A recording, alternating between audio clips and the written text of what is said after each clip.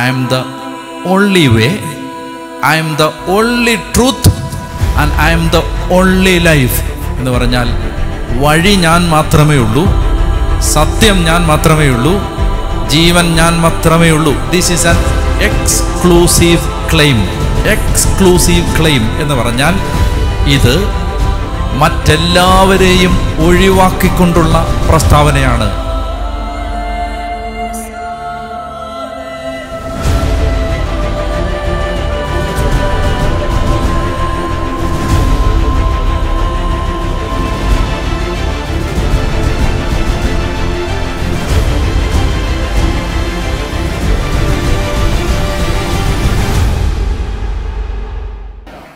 ദൈവത്തിന് നന്ദി പറയാൻ സന്തോഷമാണോ? ആണോ? ബൈബിൾ കൊണ്ടുവന്നോ? ഓക്കെ. നമ്മൾ മലാഖിയുടെ പുസ്തകമാണ് ചിന്തിച്ചുകൊണ്ടിരുന്നത്. മലാഖിയുടെ പുസ്തകം ബാബലോൻ അടിമത്തത്തിൽ നിന്ന് മടങ്ങിയെത്തിയ ജനതയുടെ ജീവിതത്തിലുണ്ടായ അപജയങ്ങളിൽ ദൈവം നൽകിയ അരുളപ്പാടാണ്. ആ ജനതയെ ദൈവം തിരുത്തുകയാണ്. അത് ഈ നാളുകളിൽ വളരെ കാലിക പ്രസക്തിയുള്ള പ്രവചന സന്ദേശങ്ങളായതുകൊണ്ടാണ് നമ്മൾ ഈ കൺവെൻഷൻ അത് ചിന്തിക്കാമെന്ന് കരുതുന്നത്. ഞാൻ ഇന്നലെ പറഞ്ഞ കാര്യങ്ങളെല്ലാം നിങ്ങളുടെ മനസ്സിലുണ്ടെന്ന് ഞാൻ വിചാരിക്കുന്നു. പ്രവാസത്തിൽ നിന്ന് മടങ്ങിയെത്തിയത് മൂന്ന് ഘട്ടങ്ങളിലായിട്ടാണ്. ഒന്നാമത്തെ ഘട്ടം ആരുടെ നേതൃത്വത്തിലാണ്? സെറുബാബേലിന്റെ നേതൃത്വത്തിൽ. രണ്ടാമത്തെ ഘട്ടം എസ്രായുടെ. മൂന്നാമത്തേത് നെഹമിയായുടെ. അപ്പോൾ എസ്രായുടെയും നെഹമിയായുടെയും ആദ്യം സെറൂബാബേലിന്റെ നേതൃത്വത്തിൽ മടങ്ങിയെത്തിയ ജനത ദേവാലയം പണിതതിന് ശേഷം നഗരത്തിന്റെ മതിലുകൾ നെഹമിയയുടെ നേതൃത്വത്തിൽ പട്ടണത്തിന്റെ മതിലുകൾ സുരക്ഷിതമാക്കി പണിത് പൂർത്തിയാക്കിയതിന് ശേഷം അവരുടെ ജീവിതത്തിലുണ്ടായ ചില ബലഹീനതകളിൽ ജീവിതത്തിലുണ്ടായ ചില പരിതാപകരമായ അവസ്ഥകളിൽ ദൈവം സംസാരിക്കുന്നതാണ് മലാഖിയുടെ പ്രവചനം. ഞാൻ പറഞ്ഞിരുന്നു ഈ മലാഖിക്ക് ശേഷം പിന്നീട് നാനൂറ് വർഷത്തെ നിശബ്ദതയാണ്. ദൈവത്തിന്റെ അരുളപ്പാടുകളില്ല. അരുളപ്പാടുകൾ എഴുതപ്പെട്ട് നമുക്ക് കിട്ടിയിട്ടില്ല. അപ്പൊ അതുകൊണ്ട് ദൈവം പഴയ നിയമ ജനതയോട് അവസാനമായി പറഞ്ഞ ഈശോയുടെ വരവിന് മുമ്പ് അവസാനമായി പറഞ്ഞ വാചകങ്ങളാണ് മലാഖിയുടെ ഗ്രന്ഥത്തിലുള്ളത്. മലാഖി അവസാനിപ്പിക്കുമ്പോൾ മലാഖി ഒരു പ്രവചനം പറഞ്ഞാണ് അവസാനിപ്പിക്കുന്നത്. ഏലിയായുടെ ചൈതന്യത്തോടെ കർത്താവിന്റെ വഴി ഒരുക്കാൻ ഒരാൾ വരും. അത് വരുന്നത് നാല് നൂറ്റാണ്ട് കഴിഞ്ഞാണ് സ്നാപകയോഗന്നാൻ അപ്പൊ സ്നാപകയോഗന്നാന്റെ വരവിന് മുമ്പുള്ള ഈ നാല് നൂറ്റാണ്ടുകൾ ദൈവ നിശബ്ദതയുടെ കാലമായിരുന്നു. ഞാൻ ഇന്നലെ ഓർമ്മിപ്പിച്ചിരുന്നു ഇത് ഭയാനകമായ നിശബ്ദതയാണ്. ദൈവം സംസാരിക്കാതിരിക്കുന്നതോ അല്ലെ ദൈവത്തിന്റെ അരുളപ്പാടുകൾ കിട്ടാതിരിക്കുന്നതോ ദൈവജനത്തിന്റെ ചരിത്രം പഠിക്കുമ്പോൾ അത് ആ ജനത്തിന്റെ പീഡനങ്ങളുടെ കാലമാണ്. ആ ജനത്തിന്റെ ദുരിതത്തിന്റെ കാലമാണത്. അവിടെയാണ് അരുളപ്പാടുകൾ വിരളമാകുന്നത്. ആമോസൊക്കെ പ്രവചിക്കുന്നുണ്ട് ആ നാളുകളിൽ നിങ്ങൾ വചനം തേടി ദേശദേശാന്തരങ്ങളിലേക്ക് കുഴറി നടക്കും. വചനം കിട്ടാത്തത് കൊണ്ട് നിങ്ങളുടെ യുവാക്കന്മാരും യുവതികളും മൂർച്ഛിച്ച് താഴെ വീഴും. വചനത്തിന് വേണ്ടി ക്ഷാമമുണ്ടാവും എന്നൊക്കെ പറഞ്ഞിട്ട് പ്രവചിക്കുന്നുണ്ട്. ഇതൊക്കെ ഈ ആമോസ് പ്രവചിച്ചത് ഈ മലാഖിയുടെ പ്രവചനത്തിന് ശേഷമുള്ള നിശബ്ദതയുടെ കാലത്തെക്കുറിച്ചാവണം. അപ്പോൾ അതിനെ നമ്മൾ ഭയപ്പെടേണ്ടതുണ്ട്. അരുളപ്പാടുകൾ ലഭിക്കാതിരിക്കുന്ന ഒരു കാലഘട്ടത്തെക്കുറിച്ച് ഭയപ്പെടണം. നമ്മൾ ഈ നാനൂറ് വർഷം കഴിഞ്ഞിട്ട് പിന്നീട് ദൈവത്തിന്റെ അരുളപ്പാട് ഉണ്ടാകുന്നത് പ്രധാനമായും സ്നാപകയോഹന്നാനാണ് നമുക്ക് ഈ സ്നാപയോഹന്നാന്റെ ആ അരുളപ്പാട് ഒന്ന് വായിക്കാം. സ്നാപയോഹന്നാനിലേക്ക് ദൈവോചനം എത്തിയതിനെ കുറിച്ച് വളരെ മനോഹരമായിട്ടാണ് ലൂക്കാസ് സുവിശേഷകൻ പറഞ്ഞിരിക്കുന്നത്. ആ വചനം നമുക്ക് വായിക്കുമ്പോൾ നമ്മൾ എത്രമാത്രം ശ്രദ്ധ പുലർത്തണം എന്ന് നമ്മളെ അത് ഓർമ്മിപ്പിക്കും. അതുകൊണ്ട് അതൊന്ന് വായിക്കാം. ലൂക്കാ സുവിശേഷത്തിന്റെ ലൂക്കാ സുവിശേഷത്തിന്റെ മൂന്നാമത്തെ അധ്യായം. ലൂക്കാസ് സുവിശേഷത്തിന്റെ മൂന്നാം അധ്യായത്തിന്റെ ഒന്ന് മുതലുള്ള വാക്യങ്ങൾ വായിക്കാം. ലൂക്കാസ് വിശേഷം ഒന്നാം അധ്യായ മൂന്നാം അധ്യായത്തിന്റെ ഒന്ന് മുതൽ ഉച്ചത്തി വായിക്കുക. തിബേരിയോ സീസറിന്റെ പതിനഞ്ചാം ഭരണവർഷം. പൊന്തിയോസ് ബീലാത്തോസ് യൂതയായുടെ ദേശാധിപതിയും ഹേറോദേസ് ഗലീലിയുടെയും അവന്റെ സഹോദരൻ പീലിപ്പോസ് ഇത്തൂറിയ ത്രാക്കോണിത്തിസ് പ്രദേശങ്ങളുടെയും ലിസാനിയോസ് അബിലനയുടെയും ഭരണാധിപന്മാരും അന്നാസും കയ്യാപ്പാസും പ്രധാന പുരോഹിതന്മാരും ആയിരിക്കെ. സക്കരയായുടെ പുത്രനായ യോഹന്നാന് മരുഭൂമിയിൽ വെച്ച് ദൈവത്തിന്റെ അരുളപ്പാടുണ്ടായി. ഇത് സറ്റയറാണ് സറ്റയർ. ഇവിടെ നിങ്ങൾ പേരുകൾ എണ്ണിക്കോ. ഓരോന്ന് വൺ ടു ത്രീ ഫോർ എണ്ണിക്കോ. തെബീരിയോസ് സീസർ ഒന്ന്. പൊന്തിയോസ് പീലാത്തോസ് രണ്ട്. ഹെറോദേസ് മൂന്ന് ഫിലിപ്പോസ് നാല് ലിസാനിയോസ് അഞ്ച്. അന്നാസ് ആറ് അയ്യാപ്പാസ് ഏഴ്. ഏഴ് പ്രബലന്മാരുടെ പേര് പറഞ്ഞിരിക്കുകയാണ്. ആരാണ് ഏഴ് പ്രബലന്മാർ? ഒന്ന് റോമ സാമ്രാജ്യത്തിന്റെ ഭരണാധികാരി. യൂതയ പ്രദേശങ്ങളെ ഭരിക്കാൻ സാമന്ത രാജാവായ ഹെറോദേസ്. പിന്നീട് ഓരോ പ്രദേശങ്ങൾ അപ്പൻ ഹേറോദേശിന്റെ മരണത്തിന് ശേഷം വിഭജിക്കപ്പെട്ട് ഓരോ പ്രോവിൻസുകളായി ഭരിച്ചുകൊണ്ടിരുന്ന ഭരണാധിപന്മാർ അതായത് പൊളിറ്റിക്കൽ ലീഡേഴ്സ് ഒരു വശത്ത് മറുവശത്ത് അന്നാസും കയ്യാപ്പാസും. അന്നാസും കയ്യാപ്പാസ് എ ഡി ആറ് മുതൽ പതിനഞ്ച് വരെ യഹൂദമതത്തെ നയിച്ചിരുന്ന അന്നാസ് എ ഡി പതിനെട്ട് മുതൽ മുപ്പത് വരെ എ ഡി പതിനെട്ട് മുതൽ മുപ്പത്തി വരെ യഹൂദ മതത്തെ നയിച്ചിരുന്ന പ്രധാന പുരോഹിതനായ കയ്യാപ്പാസും. അപ്പോൾ മറുവശത്ത് മത നേതാക്കന്മാർ. ഒരു വശത്ത് പൊളിറ്റിക്കൽ ലീഡേഴ്സ് മറുവശത്ത് റിലീജിയസ് ലീഡേഴ്സ് ആ നാട്ടിലെ ടോപ്പ് ലീഡേഴ്സിന്റെ പേര് പറയുകയാണ്. ഈ ടോപ്പ് ലീഡേഴ്സ് ഭരിച്ചുകൊണ്ടിരിക്കുമ്പോൾ അവർ നേതൃത്വം വഹിച്ചുകൊണ്ടിരിക്കുമ്പോൾ സറ്റയറാണ് ആക്ഷേപഹാസ്യമാണ്. മരുഭൂമിയിൽ മരുഭൂമിയിൽ ഒരു പാവപ്പെട്ട പുരോഹിതന്റെ മകന് ദൈവത്തിന്റെ അരുളപ്പാടുണ്ടായി. അല്ലേ ലുയാ നിങ്ങൾക്ക് മനസ്സിലാവുന്നുണ്ട്? അതായത് we may have every chance to miss when God speaks ദൈവം അരുളപ്പാട് തരുമ്പോ നമ്മൾ ഈ മുൻപന്തിയിൽ നിൽക്കുന്നു എന്ന് അവകാശപ്പെടുന്നവർക്ക് we have every chance to miss it നമ്മൾ ഫ്രണ്ടിൽ നിൽക്കുന്നു എന്ന് അവകാശപ്പെടുന്ന നമുക്ക് ദൈവം പറയുമ്പോൾ അത് മിസ്സാവാനുള്ള സാധ്യതയുണ്ടെന്നുള്ള സറ്റയറാണിത്. മനസ്സിലായ? ആ നാട്ടിലെ പ്രോമിനന്റ് ആയ മെമ്പേഴ്സിനെ ബൈപ്പാസ് ചെയ്തിട്ട് ആ നാട്ടിലെ ടോപ്പ് ലീഡേഴ്സിനെ ബൈപ്പാസ് ചെയ്തിട്ട് ആ നാട്ടിലെ മുൻപന്തിയിൽ നിന്ന നേതൃനിരയെ ബൈപ്പാസ് ചെയ്തിട്ട് ദൈവത്തിന്റെ അരുളപ്പാട് നേരെ മരുഭൂമിയിൽ ഒരു കാട്ടിൽ ഒരു മരുഭൂമിയിൽ ഒരു ഗുഹയിൽ ഒളിച്ചിരുന്ന് പ്രാർത്ഥിച്ചിരുന്ന ഒരു ഒരു ഒരു ഒരു ഒരു ഒരു താപസന്റെ ആ ആ കൂടാരത്തിൽ അവന്റെ ഗുഹയ്ക്കകത്തേക്ക് ദൈവത്തിന്റെ വചനം കയറി ചെന്നു. മനസ്സിലാവുന്നുണ്ടോ? ഇത് അരുളപ്പാടുകൾ മിസ്സാവും മിസ്സാവരുത് മനസ്സിലായി? ഈ നാളുകളിൽ ദൈവം സംസാരിച്ചാൽ നമുക്കത് കേൾക്കാൻ പറ്റണം. ദൈവം എന്ത് പറയുന്നു അത് കേൾക്കാൻ പറ്റണം. ദൈവത്തിന്റെ അരുളപ്പാടുകൾ കേൾക്കാൻ പറ്റണം. കേൾക്കാൻ പറ്റാതെ പോയാൽ ആ ജീവിതം വിലയില്ലാത്തതായിട്ട് മാറും. നിങ്ങൾ നോക്കിയോ one two three four five six seven ഈ ജീവിതങ്ങൾ ചരിത്രത്തിൽ പേരെഴുതപ്പെട്ടുണ്ടെന്ന് പെട്ടിട്ടുണ്ട് എന്നതല്ലാതെ ഈ ജീവിതങ്ങൾ എല്ലാവരും സീറോ പോയിന്റിൽ തീർന്നു. അട്ടർ ഡിസാസ്റ്റർ ഗംഭീര പരാജയം. വമ്പൻ പരാജയം. വലിയ ആളുകളായിരുന്നു. ഒരു കാര്യമില്ല. ദൈവം സംസാരിക്കുമ്പോൾ കേൾക്കാൻ പറ്റണം. പണമുണ്ടായിട്ട് കാര്യമില്ല. അംഗബലം ആയുധബലം കായിക ബലം രാഷ്ട്രീയ ബലം സ്വാധീനം ഒരു കാര്യമില്ല. ഇന്ന് നിന്റെ ദൈവം സംസാരിക്കുമ്പോൾ നീ കേൾക്കുമോ? മറ്റൊരു കാര്യം കൂടെ നമ്മളെ ഭയപ്പെടുത്തണം. യേശു ഒന്നാമത് വന്നപ്പോൾ അന്നത്തെ മതത്തിലെ മുൻനിര ഭക്തന്മാർക്ക് ആ ഒന്നാം വരവിൽ വന്ന ദൈവത്തെ മിസ് ചെയ്തു. അങ്ങനെയാണെങ്കിൽ പേടിക്കണം. അവൻ രണ്ടാമത് വരുമ്പോ ഈ മുമ്പിൽ നിൽക്കുന്ന നമ്മൾ അവനെ തിരിച്ചറിയുവോ? കാണുവോ? അറിയുവോ? അപ്പൊ അതുകൊണ്ട് ഇതെല്ലാം എന്താണ്?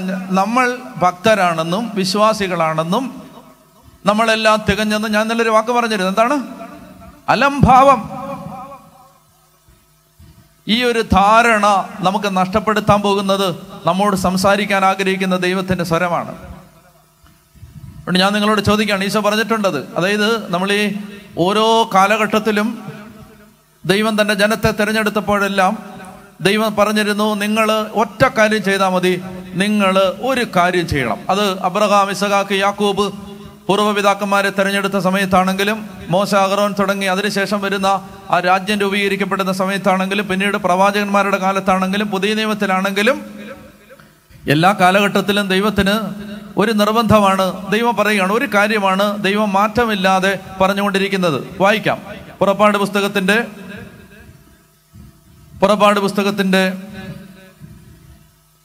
പറഞ്ഞേ ഹല്ലേ ലുയാ ഹല്ലേ ലുയാ ഹല്ലേ ലുയാ കർത്താവ് പറയുന്നത് ഇങ്ങനെയാണ്. നിങ്ങൾ നിങ്ങൾ എന്ത് ചെയ്യണം എന്റെ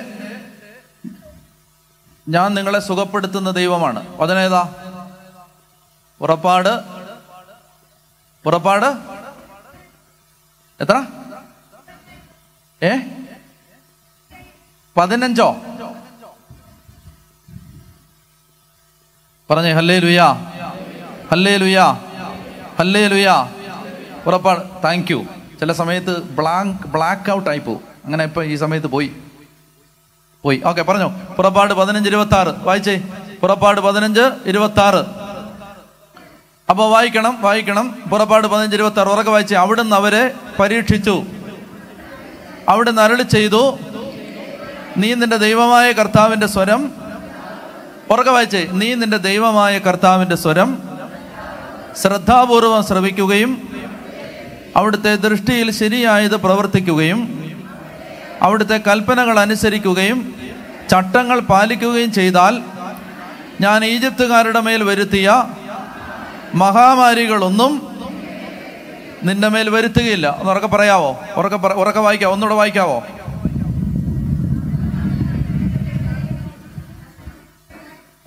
ഒന്ന് വായിച്ചേ ഉറക്കെ വായിച്ചേ.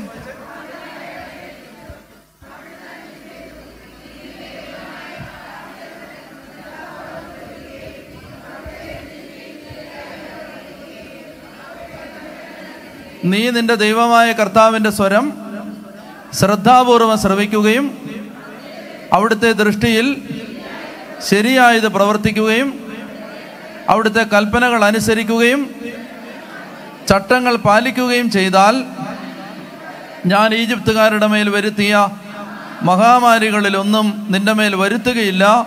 ഞാൻ നിന്നെ സുഖപ്പെടുത്തുന്ന കർത്താവാണ്. എന്നൊക്കെ പറഞ്ഞേ ഹാലേലുയ ഉണ്ടോ ഇവിടുത്തെ ഇവിടുത്തെ ദൈവത്തിന്റെ ഡിമാൻഡ് എന്താണ്? ദൈവം പറയാണ് ഞാൻ നിന്നെ സുഖപ്പെടുത്താം. എപ്പോഴാ? എന്റെ സ്വരം ശ്രദ്ധാപൂർവം എന്റെ സ്വരം ശ്രദ്ധാപൂർവം ശ്രവിച്ചാൽ ലിസൺ ടു മൈ വോയിസ് എന്നാണ്. എന്റെ സ്വരം കേട്ടാൽ എന്നാണ് പറയുന്നത്. പറയുകയാണ് ഞാൻ നിന്നെ സുഖപ്പെടുത്താം. ഈജിപ്തുകാരുടെ മേൽ വരുത്തിയ മഹാമാരികളിലൊന്നും ഞാൻ നിന്റെ മേൽ വരുത്തില്ല. എപ്പോൾ? നീ എന്റെ സ്വരം ശ്രദ്ധാപൂർവം ശ്രവിച്ചാൽ. ഇത് പഴയ നിയമത്തിലുടനീളം ആവർത്തിക്കപ്പെടുന്ന ദൈവത്തിന്റെ ഒരു ഡിമാൻഡാണ്. ജെറമിയ പ്രവചനത്തിൽ വീണ്ടും കർത്താവ് ഇതിനെക്കുറിച്ച് പറയുന്നുണ്ട്. അതായത് നിങ്ങൾ ഈജിപ്തിൽ നിന്ന് വന്നപ്പോൾ ഞാൻ നിങ്ങളോട് പറഞ്ഞത് നിങ്ങൾ എന്റെ സ്വരം കേൾക്കണമെന്നാണ്. ഞാൻ ഈജിപ്തിൽ നിന്ന് നിങ്ങളെ കൂട്ടിക്കൊണ്ട് വന്ന സമയത്തെല്ലാം ഞാൻ നിങ്ങളോട് വായിച്ച ജെറമിയ പ്രവചനം ഏഴാം അധ്യായം. ജെറമിയ പ്രവചനം ഏഴാം അധ്യായം. ഇരുപത്തിരണ്ട് മുതലുള്ള തിരുവചനം. ജറമിയ ഏഴ് ഇരുപത്തിരണ്ട് മുതൽ. വായിക്കാമോ? ഈജിപ്തിൽ നിന്ന് നിങ്ങളുടെ പിതാക്കന്മാരെ കൊണ്ടുവന്നപ്പോൾ ബലികളെ പറ്റിയോ ദഹന ബലികളെ പറ്റിയോ ഞാൻ അവരോട് സംസാരിക്കുകയോ കൽപ്പിക്കുകയോ ചെയ്തിരുന്നില്ല. അതായത് ബലി അർപ്പിക്കാൻ ഞാൻ ആവശ്യപ്പെടുന്നതിന് മുമ്പ് പോലും ഞാൻ ഈജിപ്തിൽ നിന്ന് അവരെ കൊണ്ടുവന്നപ്പോൾ നിങ്ങൾ എനിക്ക് ബലി അർപ്പിക്കണം ദഹന ബലികൾ അർപ്പിക്കണം എന്ന് പറയുന്നതിന് മുമ്പ് പോലും ഞാൻ അവരോട് ആവശ്യപ്പെട്ടത് വായിച്ചേ എന്നാൽ ഒരു കാര്യം ഞാൻ അവരോട് കൽപ്പിച്ചിരുന്നു. എന്റെ വാക്ക് അനുസരിക്കുവിൻ എന്റെ വാക്ക് അനുസരിക്കുവിൻ. വോയിസ് എന്നാണ് ഇംഗ്ലീഷിൽ ഈ വാക്കെന്ന് മലയാളത്തിൽ പക്ഷേ വോയിസ് എന്ന് എന്റെ സ്വരം അനുസരിക്കുവിൻ എന്നാണ് സ്വരം. എന്റെ സ്വരം നിങ്ങൾ അനുസരിക്കുവിൻ.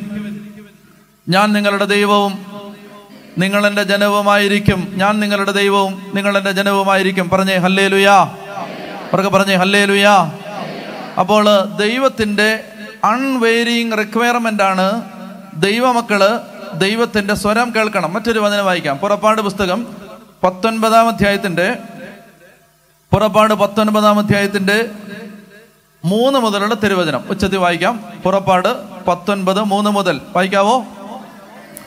മോശ ദൈവസന്നിധിയിലേക്ക് കയറി ചെന്നു. കർത്താവ് മലയിൽ നിന്ന് അവനെ വിളിച്ച് ഇങ്ങനെ പറഞ്ഞു യാക്കോബിന്റെ ഭവനത്തോട് പറയുക ഇസ്രായേലിനെ അറിയിക്കുക.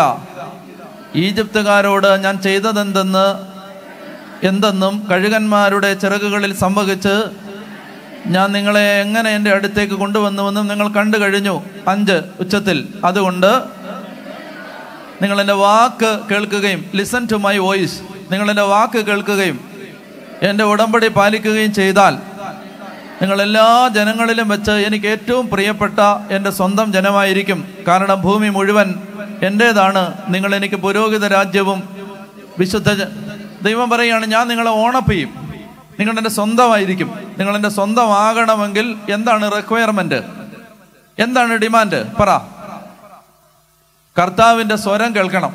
ഇതാണ് റിക്വയർമെന്റ് അതായത് നമ്മൾ ദൈവത്തിന്റെതായി മാറുന്നതും ദൈവം നമ്മളെ ഓണപ്പ് ചെയ്യുന്നതും ദൈവം നമ്മളെ സ്വന്തമായി കരുതുന്നതുമെല്ലാം ഇതിന് ദൈവം ആവർത്തിച്ച് ആവർത്തിച്ച് പറഞ്ഞ അവിടുത്തെ ഡിമാൻഡ് ഇതാണ്. എന്റെ സ്വരം നിങ്ങൾ കേൾക്കണം. അപ്പം നിങ്ങൾ എന്നോട് പറയും അത് പഴയ നിയമം. പുതിയ നിയമത്തെ അങ്ങനൊന്നുമില്ല. പുതിയ നിയമത്തെ അങ്ങനെ ഉണ്ടോ എന്ന് നോക്കാം. യോഹന്നാന്റെ സുവിശേഷം പത്താം അധ്യായം. യോഹന്നാന്റെ സുവിശേഷം പത്താം അധ്യായം. പത്താം അധ്യായത്തിൽ കർത്താവ് പറയുന്നുണ്ട് ഒന്ന് മുതൽ വായിച്ചേ. സത്യം സത്യമായി ഞാൻ നിങ്ങളോട് പറയുന്നു. ആട്ടിൻ തൊഴുത്തിലേക്ക് വാതിലിലൂടെ അല്ലാതെ മറ്റു വഴിക്ക് കടക്കുന്നവൻ കള്ളനും കവർച്ചക്കാരനുമാണ്. എന്നാൽ വാതിലിലൂടെ പ്രവേശിക്കുന്നവൻ ആടുകളുടെ ഇടയനാണ്. കാവൽക്കാരൻ അവന് വാതിൽ തുറന്നു കൊടുക്കുന്നു. ആടുകൾ അവന്റെ സ്വരം കേൾക്കുന്നു. ആടുകൾ അവന്റെ സ്വരം ആടുകൾ അവന്റെ സ്വരം കേൾക്കുന്ന അവൻ തന്റെ ആടുകളെ പേര് ചൊല്ലി വിളിക്കുകയും പുറത്തേക്ക് നയിക്കുകയും ചെയ്യുന്നു. തനിക്കുള്ളതിനെയെല്ലാം പുറത്തിറക്കിയിട്ട് അവൻ അവയ്ക്ക് മുമ്പേ നടക്കുന്നു. അവന്റെ സ്വരം തിരിച്ചറിയുന്നത് കൊണ്ട് ആടുകൾ അവനെ അനുഗമിക്കുന്നു. പറഞ്ഞേ ഹാലേലുയാ പറഞ്ഞേ ഹാലേലുയാ. ഇനി അടുത്തത് വായിക്കാം. പത്താം അധ്യായത്തിന്റെ പത്താം അധ്യായത്തിന്റെ പതിനാറാമത്തെ വാക്യം. ഈ തൊഴുത്തിൽ പെടാത്ത മറ്റാടുകളും എനിക്കുണ്ട്. അവയെ ഞാൻ കൊണ്ടുവരേണ്ടിയിരിക്കുന്നു. അവ എന്റെ സ്വരം ശ്രവിക്കും. അങ്ങനെ ഒരാട്ടിൻപറ്റവും. അതായത് എല്ലാ വഴക്കും തീരാൻ ഒറ്റ വഴിയേ ഉള്ളൂ. എന്താ? ദൈവം എന്താ പറയുന്നതെന്ന് ശ്രദ്ധിക്കുക. പിന്നെ വഴക്കില്ല.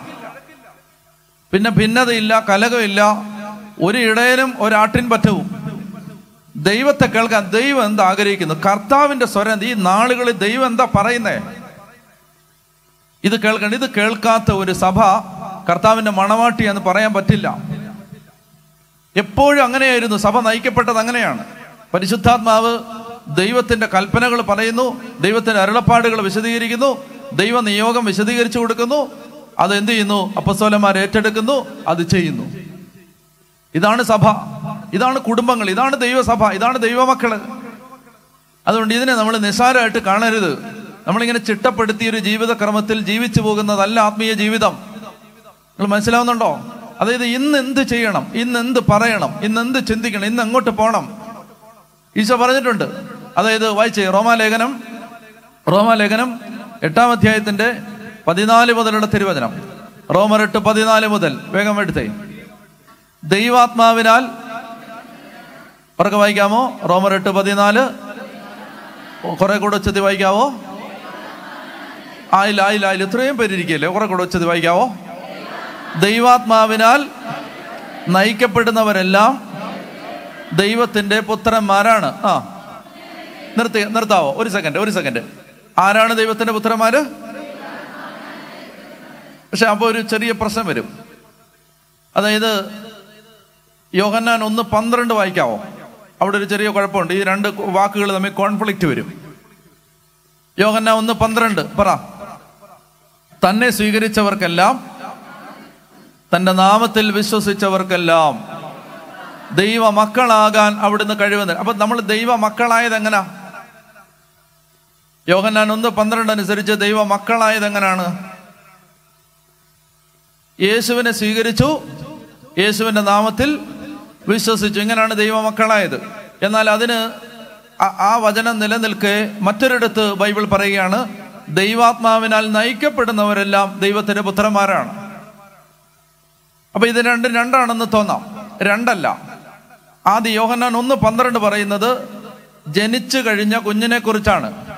യോഹന്നാൻ ഒന്ന് പന്ത് പന്ത്രണ്ട് പറയുന്നത് കുഞ്ഞിനെ കുറിച്ചാണ്. ജനിച്ചത് യേശുവിനെ ഏറ്റുപറഞ്ഞപ്പോഴും യേശുവിൽ വിശ്വസിച്ചപ്പോഴും യേശുവിനെ സ്വീകരിച്ചപ്പോ യേശുവിനെ സ്വീകരിച്ചപ്പോ അപ്പോഴാണ് ഈ കുഞ്ഞ് വിശ്വാസത്തിൽ ജനിച്ചത്.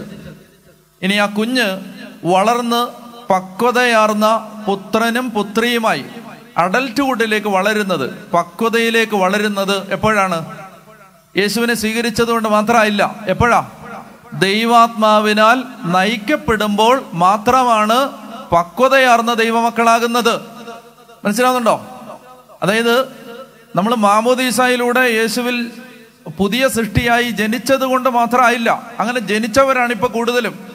ആത്മാവിനാൽ നയിക്കപ്പെടുന്നവര് കുറവാണ്. പറയാമോ? ഹലേ ലുയാ ഹലേ ലുയാ നമുക്ക് ഒരു പ്രശ്നമുണ്ട് ഇത് മനസ്സിലാക്കണം ശരിക്കും. അതായത് നമ്മൾ പറയുന്നു നമുക്ക് നല്ല അനുഭവങ്ങളുണ്ട്. ഇപ്പൊ നിങ്ങൾക്ക് ഒരു കുടുംബനാഥൻ ഒരു കുടുംബം നോക്കാൻ നിങ്ങൾക്ക് അറിയില്ലേ നിങ്ങൾ ഇനി ആരെങ്കിലും പഠിപ്പിച്ചു തരേണ്ട കാര്യമുണ്ടോ? ഒരു സിസ്റ്റർ സിസ്റ്റർ ചെയ്യുന്ന കാര്യം സിസ്റ്റർ ചെയ്യാൻ ഇനി വേറെ ആരെങ്കിലും വന്ന് ഡിക്റ്റേറ്റ് ചെയ്തേണ്ട കാര്യമുണ്ടോ? സിസ്റ്റർ അറിഞ്ഞുകൂടെ എത്ര കൊല്ലമായിട്ട് ചെയ്യുന്ന? ഞാനിപ്പോൾ ഇവിടെ വന്ന് വചനം പ്രസംഗിക്കുന്നു. ഞാൻ പതിനേഴാമത്തെ കൊല്ലമാണിത് എനിക്ക് ഇനി ആരെങ്കിലും പറഞ്ഞു തരണോ? എങ്ങനെ വചനം പ്രസംഗിക്കേണ്ടത് ഞാൻ എത്ര കൊല്ലമായിട്ട് ചെയ്യുന്ന ഇത്? ഇതിന് പറയുന്ന പേരാണ് എന്ത്?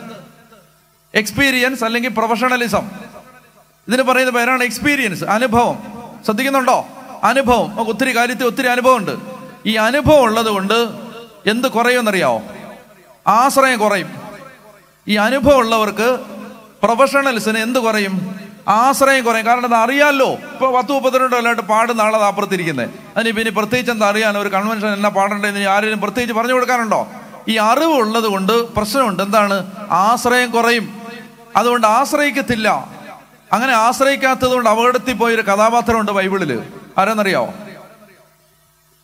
ഇങ്ങനെ ആശ്രയം അതായത് ഒത്തിരി എക്സ്പീരിയൻസ് ഉണ്ടായിരുന്നുകൊണ്ട് വലിയ വലിയ ഒരു ആപത്തിൽ ചെന്ന് വിട്ടൊരു കഥാപാത്രമുണ്ട് ബൈബിൾ ഭയങ്കര എക്സ്പീരിയൻസ് ഉണ്ടായിരുന്നു. ആരാ? മോശ. മരുഭൂമിയിൽ ജനത്തെ കൊണ്ടുപോയിക്കൊണ്ടിരിക്കുമ്പോ മരുഭൂമിയിൽ വെച്ചിട്ട് നമ്മൾ കാണുന്നുണ്ട് ജനത്തിന് വെള്ളമില്ല. അവരുടെ കണക്ക് ഏതാണ്ട് ഇരുപത് ലക്ഷം പേരുണ്ട് ഇരുപത് ലക്ഷം. ഇരുപത് ലക്ഷം ടു മില്യൺ ഇത്ര ആളുകൾക്ക് മരുഭൂമിയിൽ കുടിക്കാൻ വെള്ളമില്ല. വെള്ളമില്ലാതെ വിഷമിക്കുന്ന സമയത്ത് ദൈവസന്നിധി പോയി മോശ അപേക്ഷിച്ചു. അപേക്ഷിച്ച സമയത്ത് ദൈവം പറഞ്ഞു പാറമേൽ അടിക്കാൻ പറഞ്ഞു. മോശ പോയി പാറമേൽ അടിച്ചു. അപ്പോൾ അവിടുന്ന് വെള്ളം പുറത്തു വന്നു. അവിടുന്ന് അരുവികൾ പന്ത്രണ്ട് നീരവ് ഒഴുകി എന്നാണ് മലങ്കര ആരാധനക്രമം പറയുന്നത്. പന്ത്രണ്ട് അരുവി ഒഴുകി. അങ്ങനെ എല്ലാവരും കുടിച്ചു. ഇത് കഴിഞ്ഞിട്ട് കുറച്ചു കുറച്ചുനാൾ കഴിഞ്ഞപ്പോൾ ഇതുപോലെ തന്നെ സെയിം എപ്പിസോഡ് ആവർത്തിക്കപ്പെട്ടു വേറൊരു സ്ഥലത്ത് വെച്ച്. കുടിക്കാൻ വെള്ളമില്ല. ഇപ്പൊ മോശയ്ക്ക് കുടിക്കാൻ വെള്ളമില്ലാതെ വന്ന എക്സ്പീരിയൻസ് ഉണ്ടോ? പറ. നല്ല എക്സ്പീരിയൻസ് ഉണ്ട്. കാരണം എന്താണ്? ദൈവത്തിനടുത്ത് ചെന്നു. കർത്താവ് വെള്ളമില്ല. അപ്പൊ കർത്താവ് പറഞ്ഞു പോയി പാറയോട് കൽപ്പിക്കുക. പാറയോട് എക്സ്പീരിയൻസ് ഉണ്ടായിരുന്ന ആൾ മുഴുവൻ കേൾക്കാൻ നിന്നില്ല. പാറ മാത്രമേ കേട്ടുള്ളൂ. അപ്പൊ എക്സ്പീരിയൻസ് കിടക്കല്ലേ? പോയി ഒരൊറ്റ അടി അടി അടിച്ചു. ദൈവം പറഞ്ഞു നീ കാനാന് ദേശത്ത് കാൽ കുത്തത്തില്ല എന്ന് പറഞ്ഞു. നീ എന്റെ വാക്ക് നീ എന്റെ വാക്ക് പൂർണമായും അനുസരിക്കാത്തത് കൊണ്ട് നിന്നെ കാൽ കുത്തിക്കത്തില്ല എന്ന് പറഞ്ഞു. കാൽ കുത്തിക്കത്തില്ല. മനസ്സിലാവുന്നുണ്ടോ? ഈ അനുഭവം നമ്മളെ ആവത്തി കൊണ്ട് എത്തിക്കും. ഈ അനുഭവം ഈ എക്സ്പീരിയൻസ് ഈ പ്രൊഫഷണലിസം അതുകൊണ്ട് ഇന്നലത്തെ തീ ഇന്നത്തെ ചാരമാണ്. ഇന്നലത്തെ തീ ഇന്നത്തെ ചാരമാണ്. ഇന്നലത്തെ തീ ഇന്നത്തെ ചാരമാണ്. ഇന്നത്തെ തീ വരണമെങ്കിൽ ഇന്ന് മുട്ടുകുത്തണം. ഇന്ന് ആശ്രയിക്കണം. ഇന്ന് ചോദിക്കണം. ഇന്ന് നിലവിളിക്കണം. ഇന്ന് കരയണം. പറഞ്ഞേ ഹാലേ ലുയാ മനസ്സിലായോ? ഒരുപാട് അറിവുണ്ട് നമുക്ക്. പക്ഷെ അറിവ് നമ്മളെ ദൈവഹിതത്തിൽ എത്തിക്കില്ല. പരിചയം പാഠവം എക്സ്പീരിയൻസ് നോളജ് പ്രൊഫഷണലിസം എത്തിക്കില്ല. വചനം പറയാണ് അതുകൊണ്ട് every day on a regular basis ദൈവാത്മാവിനാൽ നയിക്കപ്പെടണം. ഇപ്പൊ ഇവിടെ കിട്ടിയോ? എന്തുകൊണ്ടാണെന്ന്? ദൈവാത്മാവിനാൽ നയിക്കപ്പെടണം. അതുകൊണ്ട് എന്ത് ചെയ്യണം? ഒരു മഠത്തിലെ സുപ്പീരിയർ എന്ത് ചെയ്യണം? ഞാൻ കഴിഞ്ഞ പത്ത് കൊല്ലമായിട്ട് സുപ്പീരിയർ ആണ്. എനിക്കറിയാം. അങ്ങനല്ല. അമ്മ മുട്ടുകുത്തണം.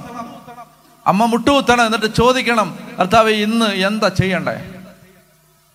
ഒരു കുടുംബനാഥൻ മുട്ടുകുത്തണം. കർത്താവെ ഞാൻ ഈ കുടുംബത്തെ എങ്ങനെ നയിക്കണ്ടേ? ഞാനിത് എങ്ങനെ ചെയ്യണ്ടേ? ഞാൻ ഈ ക്യാമറ എങ്ങനെ ഓപ്പറേറ്റ് ചെയ്യണ്ടേ? ഞാൻ ഈ പാട്ട് എങ്ങനെ പാടണ്ടേ? ഞാൻ എന്താ ഇന്ന് പ്രസംഗിക്കണ്ടേ?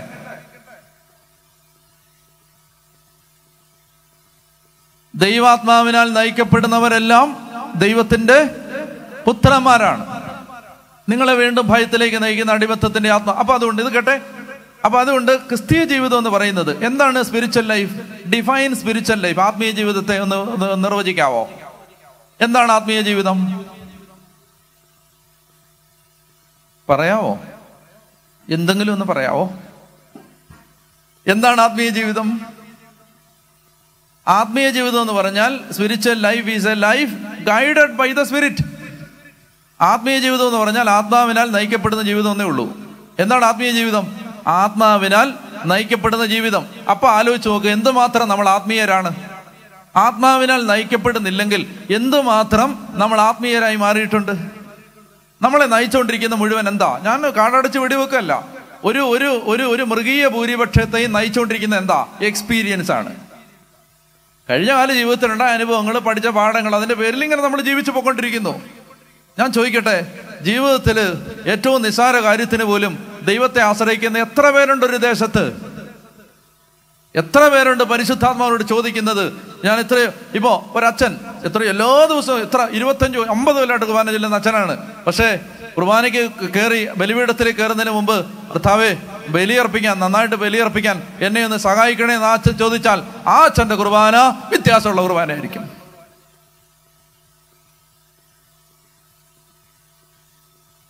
മനസ്സിലാവുന്നുണ്ടോ?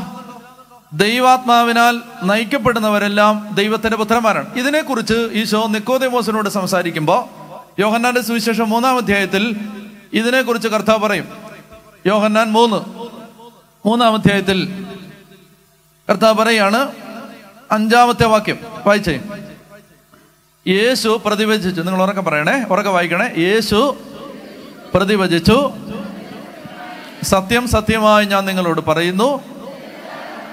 ജലത്താലും ആത്മാവിനാലും ജനിക്കുന്നില്ലെങ്കിൽ ഒരുവനും ദൈവരാജ്യത്തിൽ പ്രവേശിക്കുക സാധ്യമല്ല. കഴിഞ്ഞോ? വായിക്കേ. മാംസത്തിൽ നിന്ന് ജനിക്കുന്നത് മാംസമാകുന്നു. ആത്മാവിൽ നിന്ന് ജനിക്കുന്നത് മനസ്സിലാവുന്നുണ്ടോ? അതായത് ആത്മാവ് നയിക്കാത്ത എല്ലാ സന്ദർഭങ്ങളിലും നമ്മൾ വെറും ജഡം മാത്രമാണ്. ഈശോ പറഞ്ഞിട്ടുണ്ട് ശരീരം ഒന്നിനും ഉപകരിക്കുന്നില്ല. ആത്മാവാണ് ജീവൻ നൽകുന്നത്. പരിശുദ്ധാത്മാവിനാൽ നയിക്കപ്പെടാത്ത ഓരോ മിനിറ്റിലും നമ്മൾ വെറും ജഡം മാത്രമാണ്. വെറും ജഡം. എന്നിട്ട് ഈശോ പറയുകയാണ് അടുത്ത വാക്യം. നിങ്ങൾ വീണ്ടും ജനിക്കണമെന്ന് ഞാൻ പറഞ്ഞതുകൊണ്ട് നീ വിസ്മയിക്കേണ്ട. കാറ്റ് അതിന് ഇഷ്ടമുള്ളിടത്തേക്ക് വീശുന്നു. അതിന്റെ ശബ്ദം നീ കേൾക്കുന്നു. എന്നാൽ അത് എവിടെ നിന്ന് വരുന്നെന്നോ എവിടേക്ക് പോകുന്നെന്നോ നീ അറിയുന്നില്ല. ഇതുപോലെയാണ് ആത്മാവിൽ നിന്ന് ജനിക്കുന്ന ഏതൊരുവനും. ആത്മാവിനാൽ നയിക്കപ്പെടുന്നവൻ അവനെ ഈശോ ഉപമിക്കുന്നത് കാറ്റ് അടിച്ചോണ്ട് പോകുന്ന ഒരു ജീവിതമായിട്ടാണ്. കാറ്റ് അടിച്ചോണ്ട് പോവാണ്. പദ്ധതികളല്ല പ്ലാനിങ് അല്ല ടൈം ടേബിൾ അല്ല. ഒരാളെ അടിച്ചോണ്ട് പോകുന്നത് കാറ്റാണ്. കാറ്റ് ഇങ്ങനെ അടിച്ചോണ്ട് പോകുന്ന ജീവിതം. അങ്ങനെ കാറ്റടിച്ചുകൊണ്ട് പോയ ജീവിതങ്ങളുണ്ട് ബൈബിളിൽ ഉദാഹരണം പത്രോസ്ലിക അദ്ദേഹം ഷിമയോൻ എന്ന് പറയുന്ന തുകൽപ്പണിക്കാരന്റെ വീട്ടിൽ താമസിച്ചുകൊണ്ടിരിക്കുന്ന സമയത്ത് മധ്യാഹ്ന പ്രാർത്ഥനയ്ക്ക് വേണ്ടി അദ്ദേഹം മട്ടുപ്പാവിലേക്ക് പോകുമ്പോൾ അദ്ദേഹത്തിന് വിശന്നു. വിശന്നു. ഞാൻ സിസ്റ്ററിനോട് ചോദിക്കട്ടെ? സിസ്റ്റർ ഉച്ച പ്രാർത്ഥനയ്ക്ക് പോകുന്ന സമയത്ത് സിസ്റ്ററിന് വിശന്നാൽ അത് ടെംപ്ടേഷൻ ആണോ പരിശുദ്ധാത്മാവിന്റെ പ്രേരണയാണോ? സിസ്റ്റർ ഉച്ച പ്രാർത്ഥനയ്ക്ക് പോകുന്ന സമയത്ത് സിസ്റ്ററിന് വിശന്നാൽ എന്റെ ചോദ്യം അത് അത് പ്രലോഭനമായിട്ടാണോ സിസ്റ്റർ കാണാൻ പോകുന്നത്? അതോ പരിശുദ്ധാത്മാവിന്റെ ഇൻവിറ്റേഷൻ ആയിട്ടാണോ? സ്വാഭാവികമായിട്ടും നമ്മൾ പ്രലോഭനമായിട്ടല്ലേ കാണും അതായത് നമുക്ക് കുർബാന അർപ്പിക്കാനായിട്ട് പോകുന്ന സമയത്ത് അച്ഛന് ബിരിയാണി തിന്നാൻ തോന്നുകയാണ്. അച്ഛൻ എന്താ തോന്നുന്നത്? അച്ഛന് പറയും ഇത് ഇത് ഭോ പിശാചെ ബിരിയാണി പിശാചെ എന്ന് പറഞ്ഞിട്ട് അച്ഛൻ സാധാരണ ശാസിക്കും. കാരണം എന്താണ്? അത് അച്ഛനറിയാം അത് പ്രലോഭനമാണ് പക്ഷേ ഒരു കാര്യമുള്ള എന്താ പറയുക? നമ്മുടെ കൂട്ടായിരുന്നില്ല അപ്പസ്തോലന്മാർ അവരൊക്കെ ശരീരത്തെ കീഴടക്കിയ ആളുകളാണ്. എന്ന് പറഞ്ഞാൽ രാവിലെ ബിരിയാണി ഉച്ചയ്ക്ക് പിന്നെ കുഴിമന്തി എന്നൊന്നും അങ്ങനെ അങ്ങനെയുള്ള ഡിമാൻഡൊന്നും ഇല്ലാത്ത ആളുകളാണ്. അവർക്ക് ഭക്ഷണം എന്തെങ്കിലും കഴിച്ചാൽ മതി. ശരീരത്തിന്റെ മേൽ വിജയം നേടിയ ആളുകളാണ്. അതുകൊണ്ട് തന്നെ അസ്വാഭാവികമായി പ്രാർത്ഥനാ നേരത്തിൽ ഒരു വിശപ്പ് അനുഭവപ്പെട്ടപ്പോൾ പത്രോസിലേക്ക് മനസ്സിലായി ഇത് പരിശുദ്ധാത്മാവിന്റെ ഇൻവിറ്റേഷനാണ് ഉടനെ അദ്ദേഹം എന്ത് ചെയ്തു? അദ്ദേഹം ഭക്ഷണം കുക്ക് ചെയ്യാൻ വേണ്ടി പോയി. പ്രാർത്ഥന വേണ്ടാന്ന് വെച്ചിട്ട് ഭക്ഷണം പാചകം ചെയ്യാൻ വേണ്ടി പോയി. കാരണം ഇവിടെയാണ് നമ്മുടെ സാമ്പ്രദായിക ധാരണകൾക്ക് മാറ്റം വരുന്നത്. നമ്മൾ ചിന്തിച്ചു വെച്ചിരിക്കുന്ന രീതിയിലല്ല ആത്മാവ് കൊണ്ടുപോകുന്നത്.